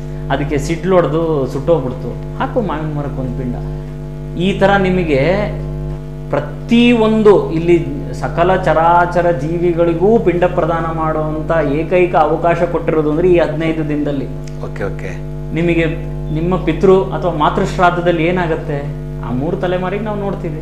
ಇಲ್ಲಿ ಯಾಕೆ ನೋಡಿ ಎಷ್ಟು ವಿಶಾಲವಾಗಿದೆ ನಮ್ಮ ಸಂಸ್ಕೃತಿ ಅಂತ ಹೇಳಕ್ಕೆ. ಪ್ರತಿಯೊಂದಕ್ಕೂ ನೀವು ಋಣ ತೀರಿಸ್ಕೊಳ್ಳೋ ಅವಕಾಶ ಕೊಡ್ತಾರಲ್ಲ ಸರ್. ಒಂದು ಮರ ಇದೆ ನೀವು ಅದರದ್ದು ಎಲೆ ಕಿತ್ತಿರ್ತೀರಿ ಮಾವಿನ ಎಲೆ ಹಬ್ಬ ಬಂದಾಗ. ನಾಳೆ ಅದಕ್ಕೆ ಏನೋ ಪ್ರಾಬ್ಲಮ್ ಆಗಿ ಆ ಮರ ಸತ್ತೋಯ್ತು. ಇತ್ತು ಸತ್ತೋಯ್ತು ಹಾ ಹಾ ಶ್ರಾದ್ದದಲ್ಲಿ ಒಂದು ಪಿಂಡ ಹಾಕು. ನೀನು ಅದ್ರದ್ದು ಎಲೆ ತಗೊಂಡಿದ್ಯಾ ಅಲ್ವಾ ಹೌದು ಬಳಸ್ಕೊಂಡಿದ್ಯಾ ಅಲ್ವಾ ಅದ್ರದ್ದು ಋಣ ಇದೆ ಅಲ್ವಾ ಅದು ಏನು ಕೇಳುತ್ತೆ? ಒಂದಿಷ್ಟು ಅನ್ನ ಕೇಳುತ್ತೆ ಸಣ್ಣ ಪಿಂಡ ಕೇಳುತ್ತೆ ಅಷ್ಟೇ ಸೊ ಹೀಗೆ ಅಂದರೆ ನಮ್ಮ ಈ ಸಂಸ್ಕೃತಿಲಿ ಏನಾಗಿದೆ ಅಂತಂದರೆ ಪ್ರತಿಯೊಂದಕ್ಕೂ ನೀವು ಹುಟ್ಟಿದಿರಿ ಅಂದಮೇಲೆ ನೀವು ಎಲ್ಲೆಲ್ಲಿಂದ ನೀವು ಅವಕಾಶ ತಗೊಂಡಿರ್ತೀರಿ? ಇನ್ನೂ ಹೇಗಿದೆ ನಿಮ್ಮಮ್ಮ ಸಣ್ಣಕ್ಕಿದ್ದಾಗ ನಮ್ಮನ್ನು ಎತ್ಕೊಂಡಿರ್ತಾರೆ. ಬಸ್ಸಲ್ಲಿ ರಶ್ ಇದೆ ಅಂತ ಇಟ್ಕೊಳ್ಳಿ. ಸುಮ್ಮನೆ ಒಂದು ಉದಾಹರಣೆ. ಒಂಚೂರು ಪಕ್ಕದವ್ರು ಏನಂತಾರೆ ಪಾಪ ಕೊಡಮ್ಮ ಇಲ್ಲಿ ಮಗು ನಾನು ಎತ್ಕೋತೀನಿ ಅಂತ ಎತ್ಕೋತಾರೆ. ಹುಚ್ಚ ಒಯ್ದು ಬಿಡ್ತೀವಿ ಅವ್ರ ಮೇಲೆ. ಹ್ಞೂ ಅವ್ರು ಯಾರು ನಮಗೆ ಗೊತ್ತಿಲ್ಲ. ಬಸ್ಸಿಂದ ಇಳಿದು ಬಂದಾಯ್ತು. ನಮ್ಮಮ್ಮ ಬಂದಾಯ್ತು ನಾನು ಇಷ್ಟು ದೊಡ್ಡವನಾಗ್ಬಿಟ್ಟಿದ್ದೀನಿ ಈಗ. ನಾನು ಅವತ್ತೊಂದು ಹುಚ್ಚ ಒಯ್ದಿದ್ದೆ ಅವ್ರ ಮೇಲೆ. ಅದು ನಂದು ಋಣ ಅದು. ಒಬ್ರ ಮೇಲೆ ಮಲಮೂತ್ರ ವಿಸರ್ಜನೆ ಆಗಿದೆಯಲ್ಲ? ಹೌದು ಹೌದು. ಅವ್ರಿಗೊಂದು ಪಿಂಡ ಹಾಕ್ಬೇಕಲ್ಲ? ನನ್ ನನ್ನ ಋಣ ತೀರಿಸ್ಕೋಬೇಕಲ್ಲ? ಪ್ರತಿಯೊಂದು ಕೌಂಟ್ ಆಗುತ್ತೆ. ನಾನು ಅದಕ್ಕೆ ಹೇಳಿದೆ ಏನು ಅಂತಂದ್ರೆ ನಮ್ಮ ಸನಾತನ ಸಂಸ್ಕೃತಿಯಲ್ಲಿ ಹೆಜ್ಜೆ ಹೆಜ್ಜೆಗೂ ಧರ್ಮ ಇದೆ. ಓಕೆ. ನೀವು ಕೈ ಎತ್ತಿದ್ರು ಧರ್ಮ ಕೈ ಇಳಿಸಿದ್ರು ಧರ್ಮ ಇದೆ. ಅದಕ್ಕೆ ನಮ್ಮನ್ನು ಅಷ್ಟು ಸುಲಭವಾಗಿ ಅಲ್ಲಾಡ್ಸಕ್ಕಾಗಲ್ಲ. Okay okay. ಈ ಕೊನೆಯದಾಗಿ ಏನು ಹೇಳ್ತೀರಿ? ಈ ಪಿತೃಪಕ್ಷದ ಬಗ್ಗೆ ಒಟ್ಟಾರೆ. ಒಟ್ಟಾರೆ ಪಿತೃಪಕ್ಷದ ಬಗ್ಗೆ ಹೇಳಬೇಕು ಅಂತಂದರೆ ನಾನು ಹೇಳೋದು ಮುನ್ನೂರ ಅರವತ್ತೈದು ದಿನನೂ ಪಿತೃಗಳನ್ನ ಸ್ಮರಿಸಬೇಕು. ಮುನ್ನೂರ ಅರವತ್ತೈದು ದಿನವೂ ನಮಗೆ ಅವರ ಆಶೀರ್ವಾದಗಳು ಬೇಕು. ಇದು ಸ್ಥೂಲವಾಗಿ ಮಾತಾಡುವಂಥ ಸಬ್ಜೆಕ್ಟ್ ಅಲ್ಲ. ತುಂಬ ವಿಸ್ತಾರವಾಗಿ ಮಾತಾಡುವಂಥ ಸಬ್ಜೆಕ್ಟು. ಯಾಕೆ ಮಾಡಬೇಕು? ಮಾಡಿದ್ರೆ ಏನು? ಮಾಡಿಲ್ಲ ಅಂದರೆ ಏನು? ಇದು ಏನಾಗತ್ತೆ? ಒಂದು ಭಯ ಹುಟ್ಟಿಸೋವಂಥ ಇದು ಅಂತಲ್ಲ. ಆದರೆ ನಾವು ಯಾವಾಗ ಆಚರಣೆಗಳನ್ನು ಬಿಟ್ಕೋತಾ ಬರ್ತೀವಿ ಈಗೇನಾಗುತ್ತೆ? ಕೆಲವರು ನನಗೆ ನನಗೆ ವೈಯಕ್ತಿಕವಾಗಿ ಕೆಲವರು ಪ್ರಶ್ನೆ ಕೇಳಿದ್ದಿದೆ. ಇಲ್ಲ, ನಾವು ಎಡೆ ಇಡ್ತಿದ್ದೀವಿ ಪಿತೃಪಕ್ಷ ಮಾಡಬೇಕಾ? ಸ್ವಾಮಿ, ನೀವು ಎಡೆ ಇಟ್ಟು ನೀವು ಅಲ್ಲಿ ನಿಮ್ಮ ಸರ್, ಏನು ಗೊತ್ತಾ? ಫೈನಲ್ಲಿ ಭಾವನೆ. ನಾನು ಒಂದು ಪಿಂಡ ಇಡ್ಬೇಕಾರೆ? ಹೇಳ್ತಿದ್ದಾನೆ, ಪಿಂಡ ಇಡ್ಬೇಕಲ್ಲ. ಅದು ಬೇರೆ. ನಮ್ಮ ಅಪ್ಪ ಹೊಟ್ಟೆ ಹಸ್ಕೊಂಡಿದ್ದಾರೆ. ಅವರಿಗಾಗಿ ನಾನೊಂದು ಪಿಂಡ ಇಡ್ತಿದ್ದೀನಿ. ಅವ್ರು ಇದನ್ನು ತಿಂದು ಅಲ್ಲಿ ತೃಪ್ತಿ ಆಗ್ತಿದ್ದಾರೆ ಅನ್ನೋ ಭಾವನೆ ನಿಮಗೆ ಬಂದ್ಬಿಟ್ರೆ ಅದು ನಿಜವಾಗ್ಲೂ ಅವ್ರನ್ನ ತೃಪ್ತಿ ಆಗ್ತಾರೆ ನಿಮ್ಗೆ ಏನು ಆಶೀರ್ವಾದ ಬರಬೇಕು ಬರುತ್ತೆ. ಇದು ಫೈನಲ್ ನಮಗೆ ಯದ್ಭಾವಂ ತದ್ಭವತಿ ನಮ್ಮ ಭಾವನೆಗಳ ಮೇಲೆ ಎಲ್ಲವೂ ಇರುವಂಥದ್ದು ಸೊ ಶ್ರದ್ಧೆಯಿಂದ ಮಾಡೋದೇ ಶ್ರಾದ್ದ. ಶ್ರಾದ್ದ. ನಾವು ಅದನ್ನ ಹೇಳ್ಬಿಟ್ಟಿದ್ದಾರೆ. ಶ್ರದ್ಧೆಯಿಂದ ನೀವೇನ್ ಮಾಡ್ತೀರೋ ಅದನ್ನೇ ಶ್ರಾದ್ದ ಅಂತ ಹೇಳಿದ್ದಾರೆ. ಹಾಗಾಗಿ ಈ ಪಿತೃಪಕ್ಷದ್ದು ಅಷ್ಟೇ. ನಾವು ಮನಸ್ಸಿನಲ್ಲಿ ಶ್ರದ್ಧೆಯನ್ನ ಇಟ್ಕೊಂಡು ನಮ್ಮ ಪಿತೃಗಳನ್ನ ಬೇಡ್ಕೊಂಡ್ರೆ ಆಮೇಲೆ ಪಿತೃಶಾಪ ಪಿತೃಕೋಪ ಇದೆಲ್ಲ ಆಗಲ್ಲ. ನಮ್ಮ ಪೂರ್ವಜರು ನಮ್ಮ ಮೇಲೆ ಕೋಪ ಮಾಡ್ಕೊಳ್ಳಲ್ಲ ನಮ್ಮ ಪೂರ್ವಜರು ನಮಗೆ ಶಾಪ ಕೊಡಲ್ಲ. ನಮ್ಮ ಪೂರ್ವಜರು ನಮಗೆ ಶಾಪ ಕೊಡಂಗೆ ಇದ್ದಿದ್ರೆ ಆ ವಂಶದಲ್ಲಿ ನಮ್ಮನ್ನು ಹುಟ್ಟಿಸ್ತಿರ್ಲಿಲ್ಲ. ಏನಾಗುತ್ತೆ? ಈಗ ನಮ್ಮ ಅಜ್ಜ ನನ್ನ ಮುನಿಸ್ಕೊಂಡಿದ್ದಾರೆ. ಯಾಕಜ ಬಾರಜ ಇಲ್ಲಿ ತಗೊಳಜ ಅಂತ ಏನಾರು ಕೊಟ್ಟು ಮತ್ತೆ ನಮ್ಮನ್ನು ರಮಿಸ್ಬಿಡ್ತಾರೆ ನಮ್ಮ ಜೊತೆಗೆ ಬರ್ತಾರೆ. ನಮ್ದು ಏನು ನಮ್ಮ ಜೊತೆನೆ ನಡ್ಕೊಂಡು ಹೋಗ್ತಾರೆ. ಹಾಗೆ ಅಂದ್ರೆ ಏನಾಗುತ್ತೆ? ಎಲ್ಲೋ ಒಂದ್ ಕಡೆ ಅಸಮಾಧಾನ ಇರ್ಬೋದೇ ಹೊರತು ಶಾಪನೇ ಕೊಟ್ಬಿಟ್ರು. ಏನಾಗ್ಬಿಡುತ್ತೆ? ಸುಮಾರು ಜನ ಇದು ಹೆದರಿಸ್ಬಿಟ್ಟಿದ್ದಾರೆ. ನಿಮಗೆ ಪಿತೃದೋಷ ಇದೆ ಪಿತೃಶಾಪ ಇದೆ. ತಿಲೋಮ ಮಾಡಿಸ್ಬೇಕು ಇಲ್ಲ ಇದು ಮಾಡಿಬಿಡ್ಬೇಕು ಶ್ರಾದ್ದ ಮಾಡಬೇಕು ಪ್ರೇತ ಸಂಸ್ಕಾರ ಮಾಡಿಬಿಡ್ಬೇಕು. ನಿಜವಾಗ್ಲೂ ಇದೆಯಾ? ನಿಜವಾಗ್ಲೂ ಬೇಕಾ? ಈ ರೋದನೆ ಕೊಟ್ಟು ಯಾರು ತೀರ್ಕೊಂಡಿದ್ದು ಅವರ ಬಿಸಿ ಉಸಿರು ಅಂತ ಹೇಳ್ತೀವಿ ನಾವು. ಸರ್ಪದೋಷ ಬರೋದು ಹಂಗೇನೆ. ಸರ್ಪಗಳು ಜೋರಾಗಿ ಉಸಿರಾಡುತ್ತೆ. ಹಂಗೆ ಒಬ್ಬ ಮನುಷ್ಯ ಬಿಸಿ ಉಸಿರು ಬಿಸಿ ಉಸಿರು ಯಾವಾಗ ಬರುತ್ತೆ? ನೊಂದಾಗ ಬರುತ್ತೆ. ನನ್ನಲ್ಲಿ ತುಂಬ ನೊಂದು ಹೆಂಗ್ ಮಾಡ್ಬಿಟ್ನಲ್ಲ ಇವನು ಅಂತ ಆ ಬಿಸಿ ಉಸಿರು ಬರುತ್ತಲ್ಲ ಪಕ್ಕದವನಿಗೆ ಶಾಪ ತಟ್ಟತ್ತೆ. ಪಿತೃಶಾಪ ಸರ್ಪಶಾಪಗಳೆಲ್ಲ ಬರೋದು ಆಯಾ ಪ್ರಾಣಿಗಳಿಂದ ಆಯಾ ಇದರಿಂದ ಅಲ್ಲ. ನಾವು ಮಾಡೋ ಕರ್ಮಗಳಿಂದನೇ ಇವೆಲ್ಲ ಬರುವಂಥದ್ದು. ಈಗೀಗ ಈ ಹಿರಿಯರ ಹಬ್ಬ ಅಂಥೇಳಿ ಅವ್ರು ನಮ್ಮ ಅಜ್ಜ ಸೆರೆ ಕುಡಿತಿದ್ದ ಚುಟ್ಟ ಸೇತಿದ್ದ ಸಿಗರೇಟ್ ಸೇತಿದ್ದ ಅಂಥವೆಲ್ಲ ಇಡ್ತಾರಲ್ಲ ಮತ್ತು ಆ ಮೊಮ್ಮಕ್ಕಳು ಮಕ್ಕಳು ವಿಚಾರ ನೋಡ್ತಾರೆ ಓ ನಮ್ಮ ಹಿರಿಯರೆಲ್ಲ ಮಾಡ್ಯಾರ ನಾವ್ಯಾಕೆ ಮಾಡ್ಬೇಡ ಅಂತ ಅವು ಮಾಡ್ತಾವೆ. ಇಲ್ಲ ಏನಂತಂದ್ರೆ ಅವ್ರಿಗೆ ಏನು ಪ್ರೀತಿ ಇದನ್ನ ಹೇಳ್ಬಿಟ್ಟೆ ನಿಮಗೆ. ಫಸ್ಟ್ ಒಂದು ಪಾಯಿಂಟ್ ಹೇಳಿ ಏನು ದೇಶ ಕಾಲ ಪಾತ್ರ ಅಂತ. ಆಕ್ಚುಲಿ ಶಾಸ್ತ್ರದಲ್ಲಿ ಏನು ಹೇಳಿರೋದು ಅಂತಂದ್ರೆ ನಿಮ್ಮ ತಂದೆಗೆ ಏನು ಇಷ್ಟ ಇತ್ತು ಹೌದು. ಅದು ತಿನ್ನೋ ವಿಚಾರದಲ್ಲಿ ಹೇಳಿರೋ? ನಿಮ್ಮ ತಂದೆಯವರಿಗೆ ಏನ್ ಇಷ್ಟ ಇತ್ತು ಅದನ್ನ ಇಡಿ ಅಂತ ಹೇಳಿದ್ದಾರೆ. ಈಗ ನಮ್ಮ ತಂದೆ ಎಣ್ಣೆ ಅವನ್ನೆಲ್ಲ ಬಿಡ್ತಾರ? ಕುಡಿತಿದ್ರು ಇಡ್ತ ಅದೇ ಏನಂತಂದ್ರೆ ಇದು ದೇಶ ಕಾಲ ಪಾತ್ರದ ರೀತಿಯಲ್ಲಿ ಅವರು ಆಚರಿಸ್ಕೊಂಡು ಬಂದಿರುವಂತದ್ದು ಇದು ಯಾವ್ದು ಶಾಸ್ತ್ರದಲ್ಲಿ ಇಲ್ಲ ಶಾಸ್ತ್ರದಲ್ಲಿರೋದು ಇಷ್ಟೇ. ನಿಮ್ಮ ಅವ್ರಿಗೆ ಏನು ಪ್ರೀತಿ ಅವ್ರಿಗೇನು ಇಷ್ಟ ಇತ್ತೋ ಅವತ್ತಿನ ದಿನ ನೀವು ನೋಡಿ ಯಾವತ್ತೂ ನಿಮಗೆ ತಿಂದಿರೋಷ್ಟು ಅನ್ನ ಊಟ ಅವತ್ತು ಸೇರುತ್ತೆ. ಹೌದು. ಯಾಕೆ ಅಂತಂದ್ರೆ ಯಾರು ನೀವು ಹರಸ್ಬಿಟ್ಟಿರ್ತಾರಲ್ಲ ನಿಮ್ಮ ಹೊಟ್ಟೆ ತುಂಬುತ್ತೆ. ಅವ್ರು ಯಾವಾಗಲೂ ನಮ್ಮ ಪಿತೃಗಳು ಯಾವಾಗಲೂ ಆಶಿಸೋದು ಏನು ನನ್ನ ಮಗ ಹೊಟ್ಟೆ ತುಂಬಿರಲಿ. ಅವ್ನು ಕೋಟ್ಯಾಧಿಪತಿ ಆಗ್ಲಿ ಅಂತ ಯಾರು ಕೇಳಲ್ಲ. ಹೌದು. ಏನು ಮೂರೊತ್ತು ಅವನಿಗೆ ಅನ್ನ ಸಿಗಲಿ ಅವನಿಗೆ ಹೊಟ್ಟೆ ತುಂಬಿರಲಿ ಯಾವಾಗಲೂ. ಅವಾಗ ನಾವು ಯಾವಾಗ ಶ್ರಾದ್ದ ಮಾಡಿರ್ತೀವಿ ಯಾವಾಗ ಶ್ರಾದ್ದ ಕರ್ಮಗಳು ನಡೆದಿರುತ್ತೆ ನಮ್ಮ ಹೊಟ್ಟೆ ತುಂಬಿಡುತ್ತೆ ಅಲ್ಲಾಡೋಕ್ಕಾಗಲ್ಲ. ಇವತ್ತು ಜಾಸ್ತಿ ತಿಂದ್ಬಿಟ್ಟೆ ಅದು ಇವತ್ತು ತಿನ್ನೋಷ್ಟೇ ತಿಂದಿರ್ತೀರಿ. ಆದ್ರೆ ಅದೇನೋ ತೃಪ್ತಿಪಡಿಸಿರ್ತಾರೆ. ನನಗೆ ನನಗೆ ಗೊತ್ತಿರೋಂಗೆ ಒಂದು ಉದಾಹರಣೆ ಹೇಳ್ತೀನಿ. ಒಂದು ಘಟನೆ ಇದು ಸತ್ಯ ಘಟನೆ. ನನ್ನ ಗುರುಗಳ ಮನೆ ಹತ್ರ ನಡೆದಿರೋವಂಥದ್ದು. ಅವರು ಇಲ್ಲಿಂದ ಶ್ರಾದ್ದ ಮಾಡೋಕ್ಕೆ ಅಂತ ಗಯಾಗ ಹೋದರು. ಶ್ರಾದ್ದ ಎಲ್ಲ ಮುಗೀತು. ಬ್ರಾಹ್ಮಣರು ಭೋಜನ ಕೂತಿದ್ರು. ಎಲ್ಲ ಬಡಿಸ್ತಾ ಬಂದರು. ರವೆ ಉಂಡೆ ಮಾಡಿದ್ರು. ರವೆ ಉಂಡೆ ಹಾಕ್ತಾ ಬಂದರು. ನಂಗೆ ಇನ್ನೊಂದು ಬೇಕು. ಕೂತಿರೋರ ಮೇಲೂ ಆಹ್ವಾನ ಆಗ್ಬಿಟ್ಟಿರುತ್ತೆ ಹ್ಮ್. ಪಿತೃಗಳು ನನಗೆ ಇನ್ನೊಂದು ಬೇಕು ಇನ್ನೊಂದು ಬೇಕು ಇನ್ನೊಂದು ಬೇಕು ಅಂತ ನಲವತ್ತೆಂಟು ರವೆ ಉಂಡೆ ತಿಂದಿದ್ರು ಇನ್ನೊಂದು ಬೇಕು ಅಂತ ಕೇಳ್ತಾರೆ ಇಲ್ಲ ಅಲ್ಲಿ. ಏನು ಮಾಡೋದು? ಇವ್ರು ತಗೊಂಬಂದ್ರು. ಪಾತ್ರೆ ಮುಂದಿಟ್ಟು ನನಗೆ ತಪ್ಪಾಗಿದೆ. ನಾನು ರವೆ ಉಂಡೆ ಮಾಡಿಸ್ಬೇಕಿತ್ತು. ಇಷ್ಟಕ್ಕೆ ನೀವು ತೃಪ್ತರಾಗಿ ನನಗೆ ಆಶೀರ್ವಾದ ಮಾಡಿ ಅಂತೇಳಿ ಕಾಲಿಗೆ ಬಿದ್ದರು.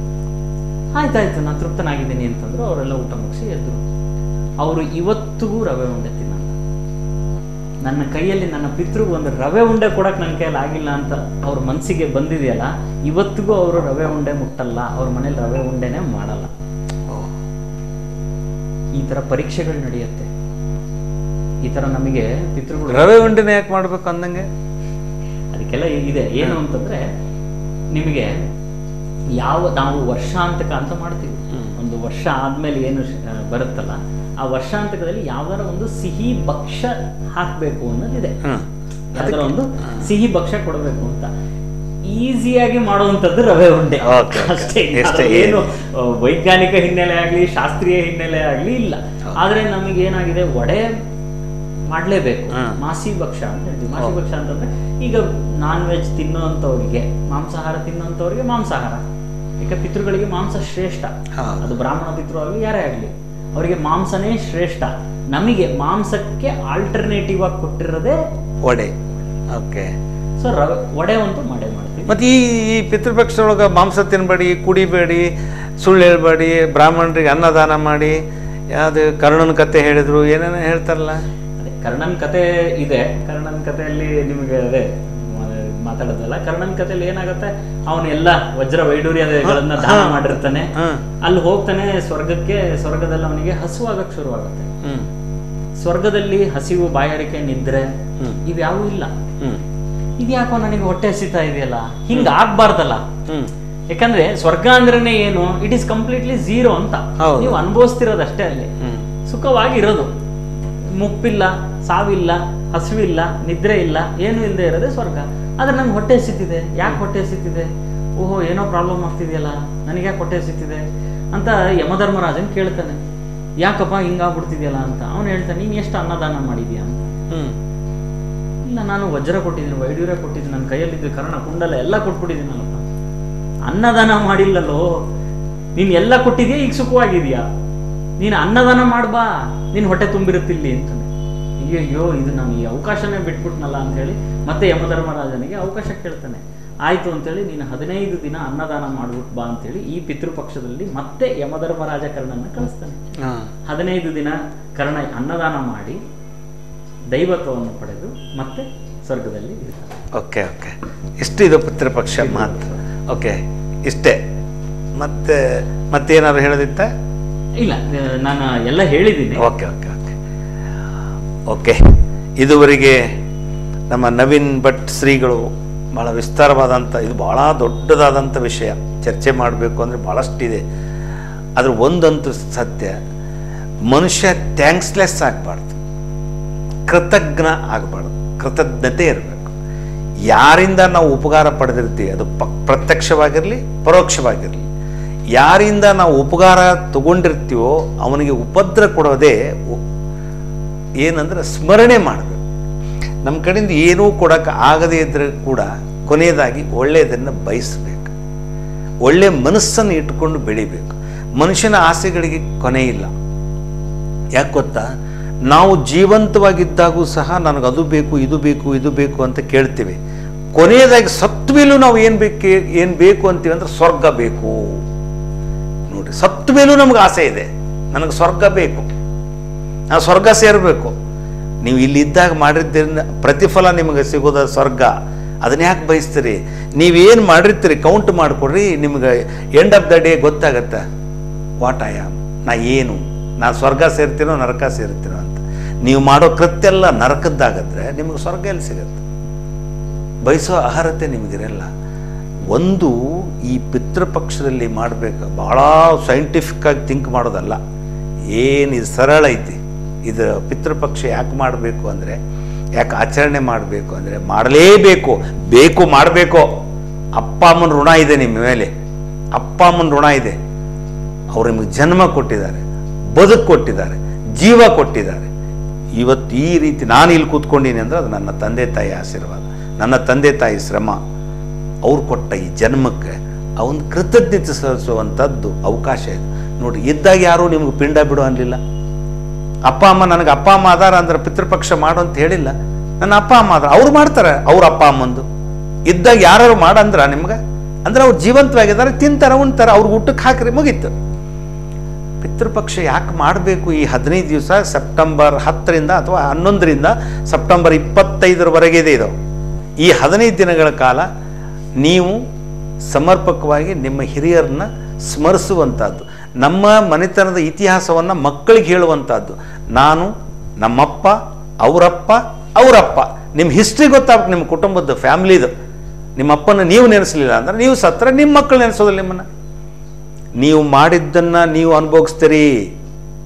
ನೀವು ಅನುಭವಿಸಬೇಕು ಸರಿಯಾಗಿ ನಿಮ್ಮ ಜೀವಕ್ಕೂ ಬೆಲೆ ಸಿಗಬೇಕು, ನಿಮಗೂ ಗೌರವ ಸಿಗಬೇಕು, ನಿಮಗೂ ಸ್ವರ್ಗ ಸಿಗಬೇಕು, ನಿಮಗೂ ಅನ್ನ ಸಿಗಬೇಕು ಅಂದರೆ ನೀವು ನಿಮ್ಮ ಅಪ್ಪಗೆ ಅನ್ನ ಹಾಕಿ. ಯಾವ ಪಿತೃಪಕ್ಷಗಳಿಗೆ ನೀವು ನಿಮ್ಮ ಋಣ ತೀರಿಸ್ರಿ, ನಿಮ್ಮ ಋಣ ನಿಮ್ಮ ಮಕ್ಕಳು ತೀರಿಸ್ತಾರೆ, ಅವ್ರ ಋಣ ಅವ್ರ ಇದೊಂದು ಸಂಸ್ಕಾರ. ಇದು ಒಂದು ಇದೇನು ಅಂದರೆ ಕೃತಜ್ಞತೆ ಇದು. ಸೊ ಹಾಗಾಗಿ ನಮ್ಮ ಮನೆತನದ ಏನು ನಮ್ಮ ಪೂರ್ವಜರು ನೆನೆಸುವಂಥ ಪಕ್ಷ, ಪಿತೃಪಕ್ಷ. ಸೊ ಹಾಗಾಗಿ ಈ ಪಿತೃಪಕ್ಷದಲ್ಲಿ ನೀವು ಅನ್ಯತಾ ವಿಚಾರ ಮಾಡದೆ ಒಂದು ಮುಷ್ಟಿ ಅನ್ನ ಬ್ರಾಹ್ಮಣ ಕರೆಸ್ರಿ, ಪಿಂಡ ಪ್ರದಾನ ಮಾಡಿರಿ, ಅಥವಾ ನಿಮ್ಗೆ ಏನು ತಿಳಿತೋ ಅದನ್ನು ಮಾಡಿರಿ. ಅದರ ಶ್ರೀಗಳು ಹೇಳಿದ್ರಲ್ಲ ಶ್ರದ್ಧೆಯಿಂದ ಮಾಡೋದೇ ಶ್ರಾದ್ದ. ಸೊ ಶ್ರದ್ಧೆ ಇರಲಿ ಎಲ್ಲರೂ ಕೂತ್ಕೊಳ್ಳಿ. ಆಮೇಲೆ ವರ್ಷಕ್ಕೊಂದ್ಸಲ ಎಲ್ಲರೂ ಕೂಡ್ದಂಗೆ ಆಗುತ್ತೆ. ಫ್ಯಾಮಿಲಿ, ಅಣ್ಣ, ತಮ್ಮ, ಅಕ್ಕ, ತಮ್ಮ, ತಂಗಿ, ಎಲ್ಲ ಫ್ಯಾಮಿಲಿ ಬರ್ತಾರೆ, ಹಿರಿಯರು ನೆನೆಸ್ತಾರೆ. ಅವರು ಈ- ಹೀಗಿದ್ರು, ಹಂಗಿದ್ರು, ಅದೆಲ್ಲ ನಿಮಗೂ ಗೊತ್ತಾಗುತ್ತೆ, ಮಕ್ಕಳಿಗೆ ಗೊತ್ತಾಗುತ್ತೆ, ಮೊಮ್ಮಕ್ಕಳಿಗೆ ಗೊತ್ತಾಗುತ್ತೆ. ಓಹೋ, ಹಿಂಗೆ, ಹಾಗೆ, ಎಲ್ಲವೂ ನಿಮಗೆ ನಾವು ಹೆಂಗೆ ಅನ್ನೋದು ಗೊತ್ತಾಗುತ್ತೆ. ನಮ್ಮ ಹಿರಿಯರು ಹಿಂಗಿದ್ರು, ನಾ ಹಿಂಗಿದ್ದೀನಿ, ಮುಂದೆ ಹೆಂಗೆ ಆಗ್ಬೋದು ಬದುಕು? ಅನ್ನೋದು ಗೊತ್ತಾಗುತ್ತೆ. ನೀವು ಒಳ್ಳೇದನ್ನ ಮಾಡ್ತಾ ಬಂದರೆ ನೀವು ಒಳ್ಳೇದಾಗ್ತೀರಿ, ನೀವು ಒಳ್ಳೇದು ಮಾಡ್ತಾ ಇದ್ರೆ ಮುಂದವ್ರು ಒಳ್ಳೇದು ಮಾಡ್ತಾರೆ. ಇದು ಸಂಸ್ಕೃತಿ. ಇದು ಪಿತೃಪಕ್ಷದ ಬಹುಮುಖ್ಯ ಉದ್ದೇಶ. ಸೊ ಹಾಗಾಗಿ ಈ ಎಲ್ಲ ಯಾಕೆ ಮಾಡಬೇಕು? ಕಾಗಿಗೇನು ಸಂಬಂಧ, ಪಿಂಡಕ್ಕೇನು ಸಂಬಂಧ, ಜಲ, ತಿಲ, ಎಲ್ಲ ಅಂಶಗಳನ್ನು ಅತ್ಯಂತ ಸ್ಥೂಲವಾಗಿ, ಸೂಕ್ಷ್ಮವಾಗಿ ನಿಮ್ಗೆ ತಿಳಿಸಿದ್ದಾರೆ.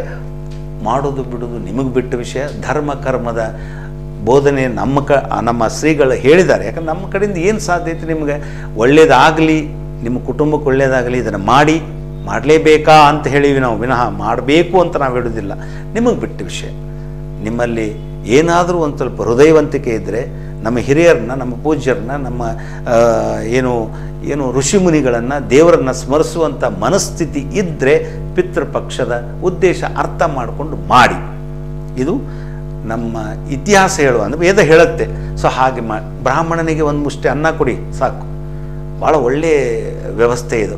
ಬಹಳ ಉತ್ತಮವಾದದ್ದು ಇದು ಆಮೇಲೆ ಕಾಗಿಗೆ ಕೊಡಿ, ಇರುವೆ ಕೊಡಿ ಗೋವಿಗೆ ಕೊಡಿ ಕೊಟ್ಟಿರಿ ಅವೆಲ್ಲ ನಿಮ್ಮನ್ನು ನೆನೆಸ್ತಾ, ಅವ್ರು ಹೇಳಿದ್ರಲ್ಲ, ಎಲ್ಲರೂ ಋಣ ನೋಡ್ರಿ, ಒಂದು ಎಲೆ ನೀವು ತಕ್ಕೊಂಡ್ರು ಕೂಡ ಒಂದು ಋಣ. ನಾವು ಎಷ್ಟು ಬಸ್ನಲ್ಲಿ ಹೇಳಿದ್ರು ನೋಡ್ರಿ, ಯಾರ್ದೋ ಮೈ ಮೇಲೆ ಕೂತ್ಕೊಂಡು ಮೂತ್ರ ಎಲ್ಲ ಮಾಡಿರುತ್ತೆ, ಅದು ಋಣ. ಯಾಕೆ ಋಣ ಇಟ್ಕೊಂಡು ಸಾಯೋದು? ಋಣ ತೀರಿಸ್ಬೇಕು. ಇಲ್ಲೇ ಕೊಟ್ಟು, ಇಲ್ಲೇ ತೊಗೊಂಡು, ಇಲ್ಲೇ ಕೊಟ್ಟು ಹೋಗ್ಬಿಟ್ರೆ ಮುಂದಿನವ್ರು ನಾವು ಮಾಡಲಿ ಬಿಡಲಿ, ನಾವು ಸ್ವರ್ಗದಾಗ ಆರಾಮಿರ್ತೇವೆ ಸೊ ನಿಮ್ಮ ಋಣ ತೀರಿಸಿ ಹೋಗಿ ಅಂದರೆ ಪಿತೃಪಕ್ಷ ಮಾಡಿ ಅನ್ನುವಂಥ ಮಾತುಗಳನ್ನು ಅತ್ಯಂತ ಸ್ಥೂಲವಾಗಿ, ವಿಶೇಷವಾಗಿ ಹೇಳಿದ್ದಾರೆ. ನಮ್ಮ ಕರೆಗೆ ಹೋಗೊಟ್ಟು ನಮ್ಮ ಸಿಟಿ ಟಿ ವೀಕ್ಷಕರಿಗೆ ಬಹಳಷ್ಟು ವಿಚಾರವನ್ನು ಹಂಚಿಕೊಂಡಂಥ ಶ್ರೀ ನವೀನ್ ಭಟ್, ವೇದ ಪಂಡಿತರು, ಜ್ಯೋತಿಷಿಗಳು, ಶಿವಮೊಗ್ಗ ಅಲ್ಲಿಂದ ಬಂದಿದ್ದಾರೆ. ಅವರಿಗೆ ಸಿಟಿ ಪರವಾಗಿ, ವೀಕ್ಷಕರ ಪರವಾಗಿ ತುಂಬ ಹೃದಯ ಅಭಿನಂದನೆ ಸರ್. ನಮಸ್ಕಾರ. ನನಗೂ ಮಾತಾಡೋಕೆ ಅವಕಾಶ ಮಾಡಿಕೊಟ್ಟಿದ್ದಕ್ಕೆ. ನಿಮಗೂ ಮತ್ತು ಸಿ ಸಿ ಟಿ ವಿ ನಿಮ್ಮ ಎಲ್ಲ ವೀಕ್ಷಕ ಸಿಬ್ಬಂದಿಗಳಿಗೆ. ಸಿಬ್ಬಂದಿಗಳಿಗೆ. Okay thank you sir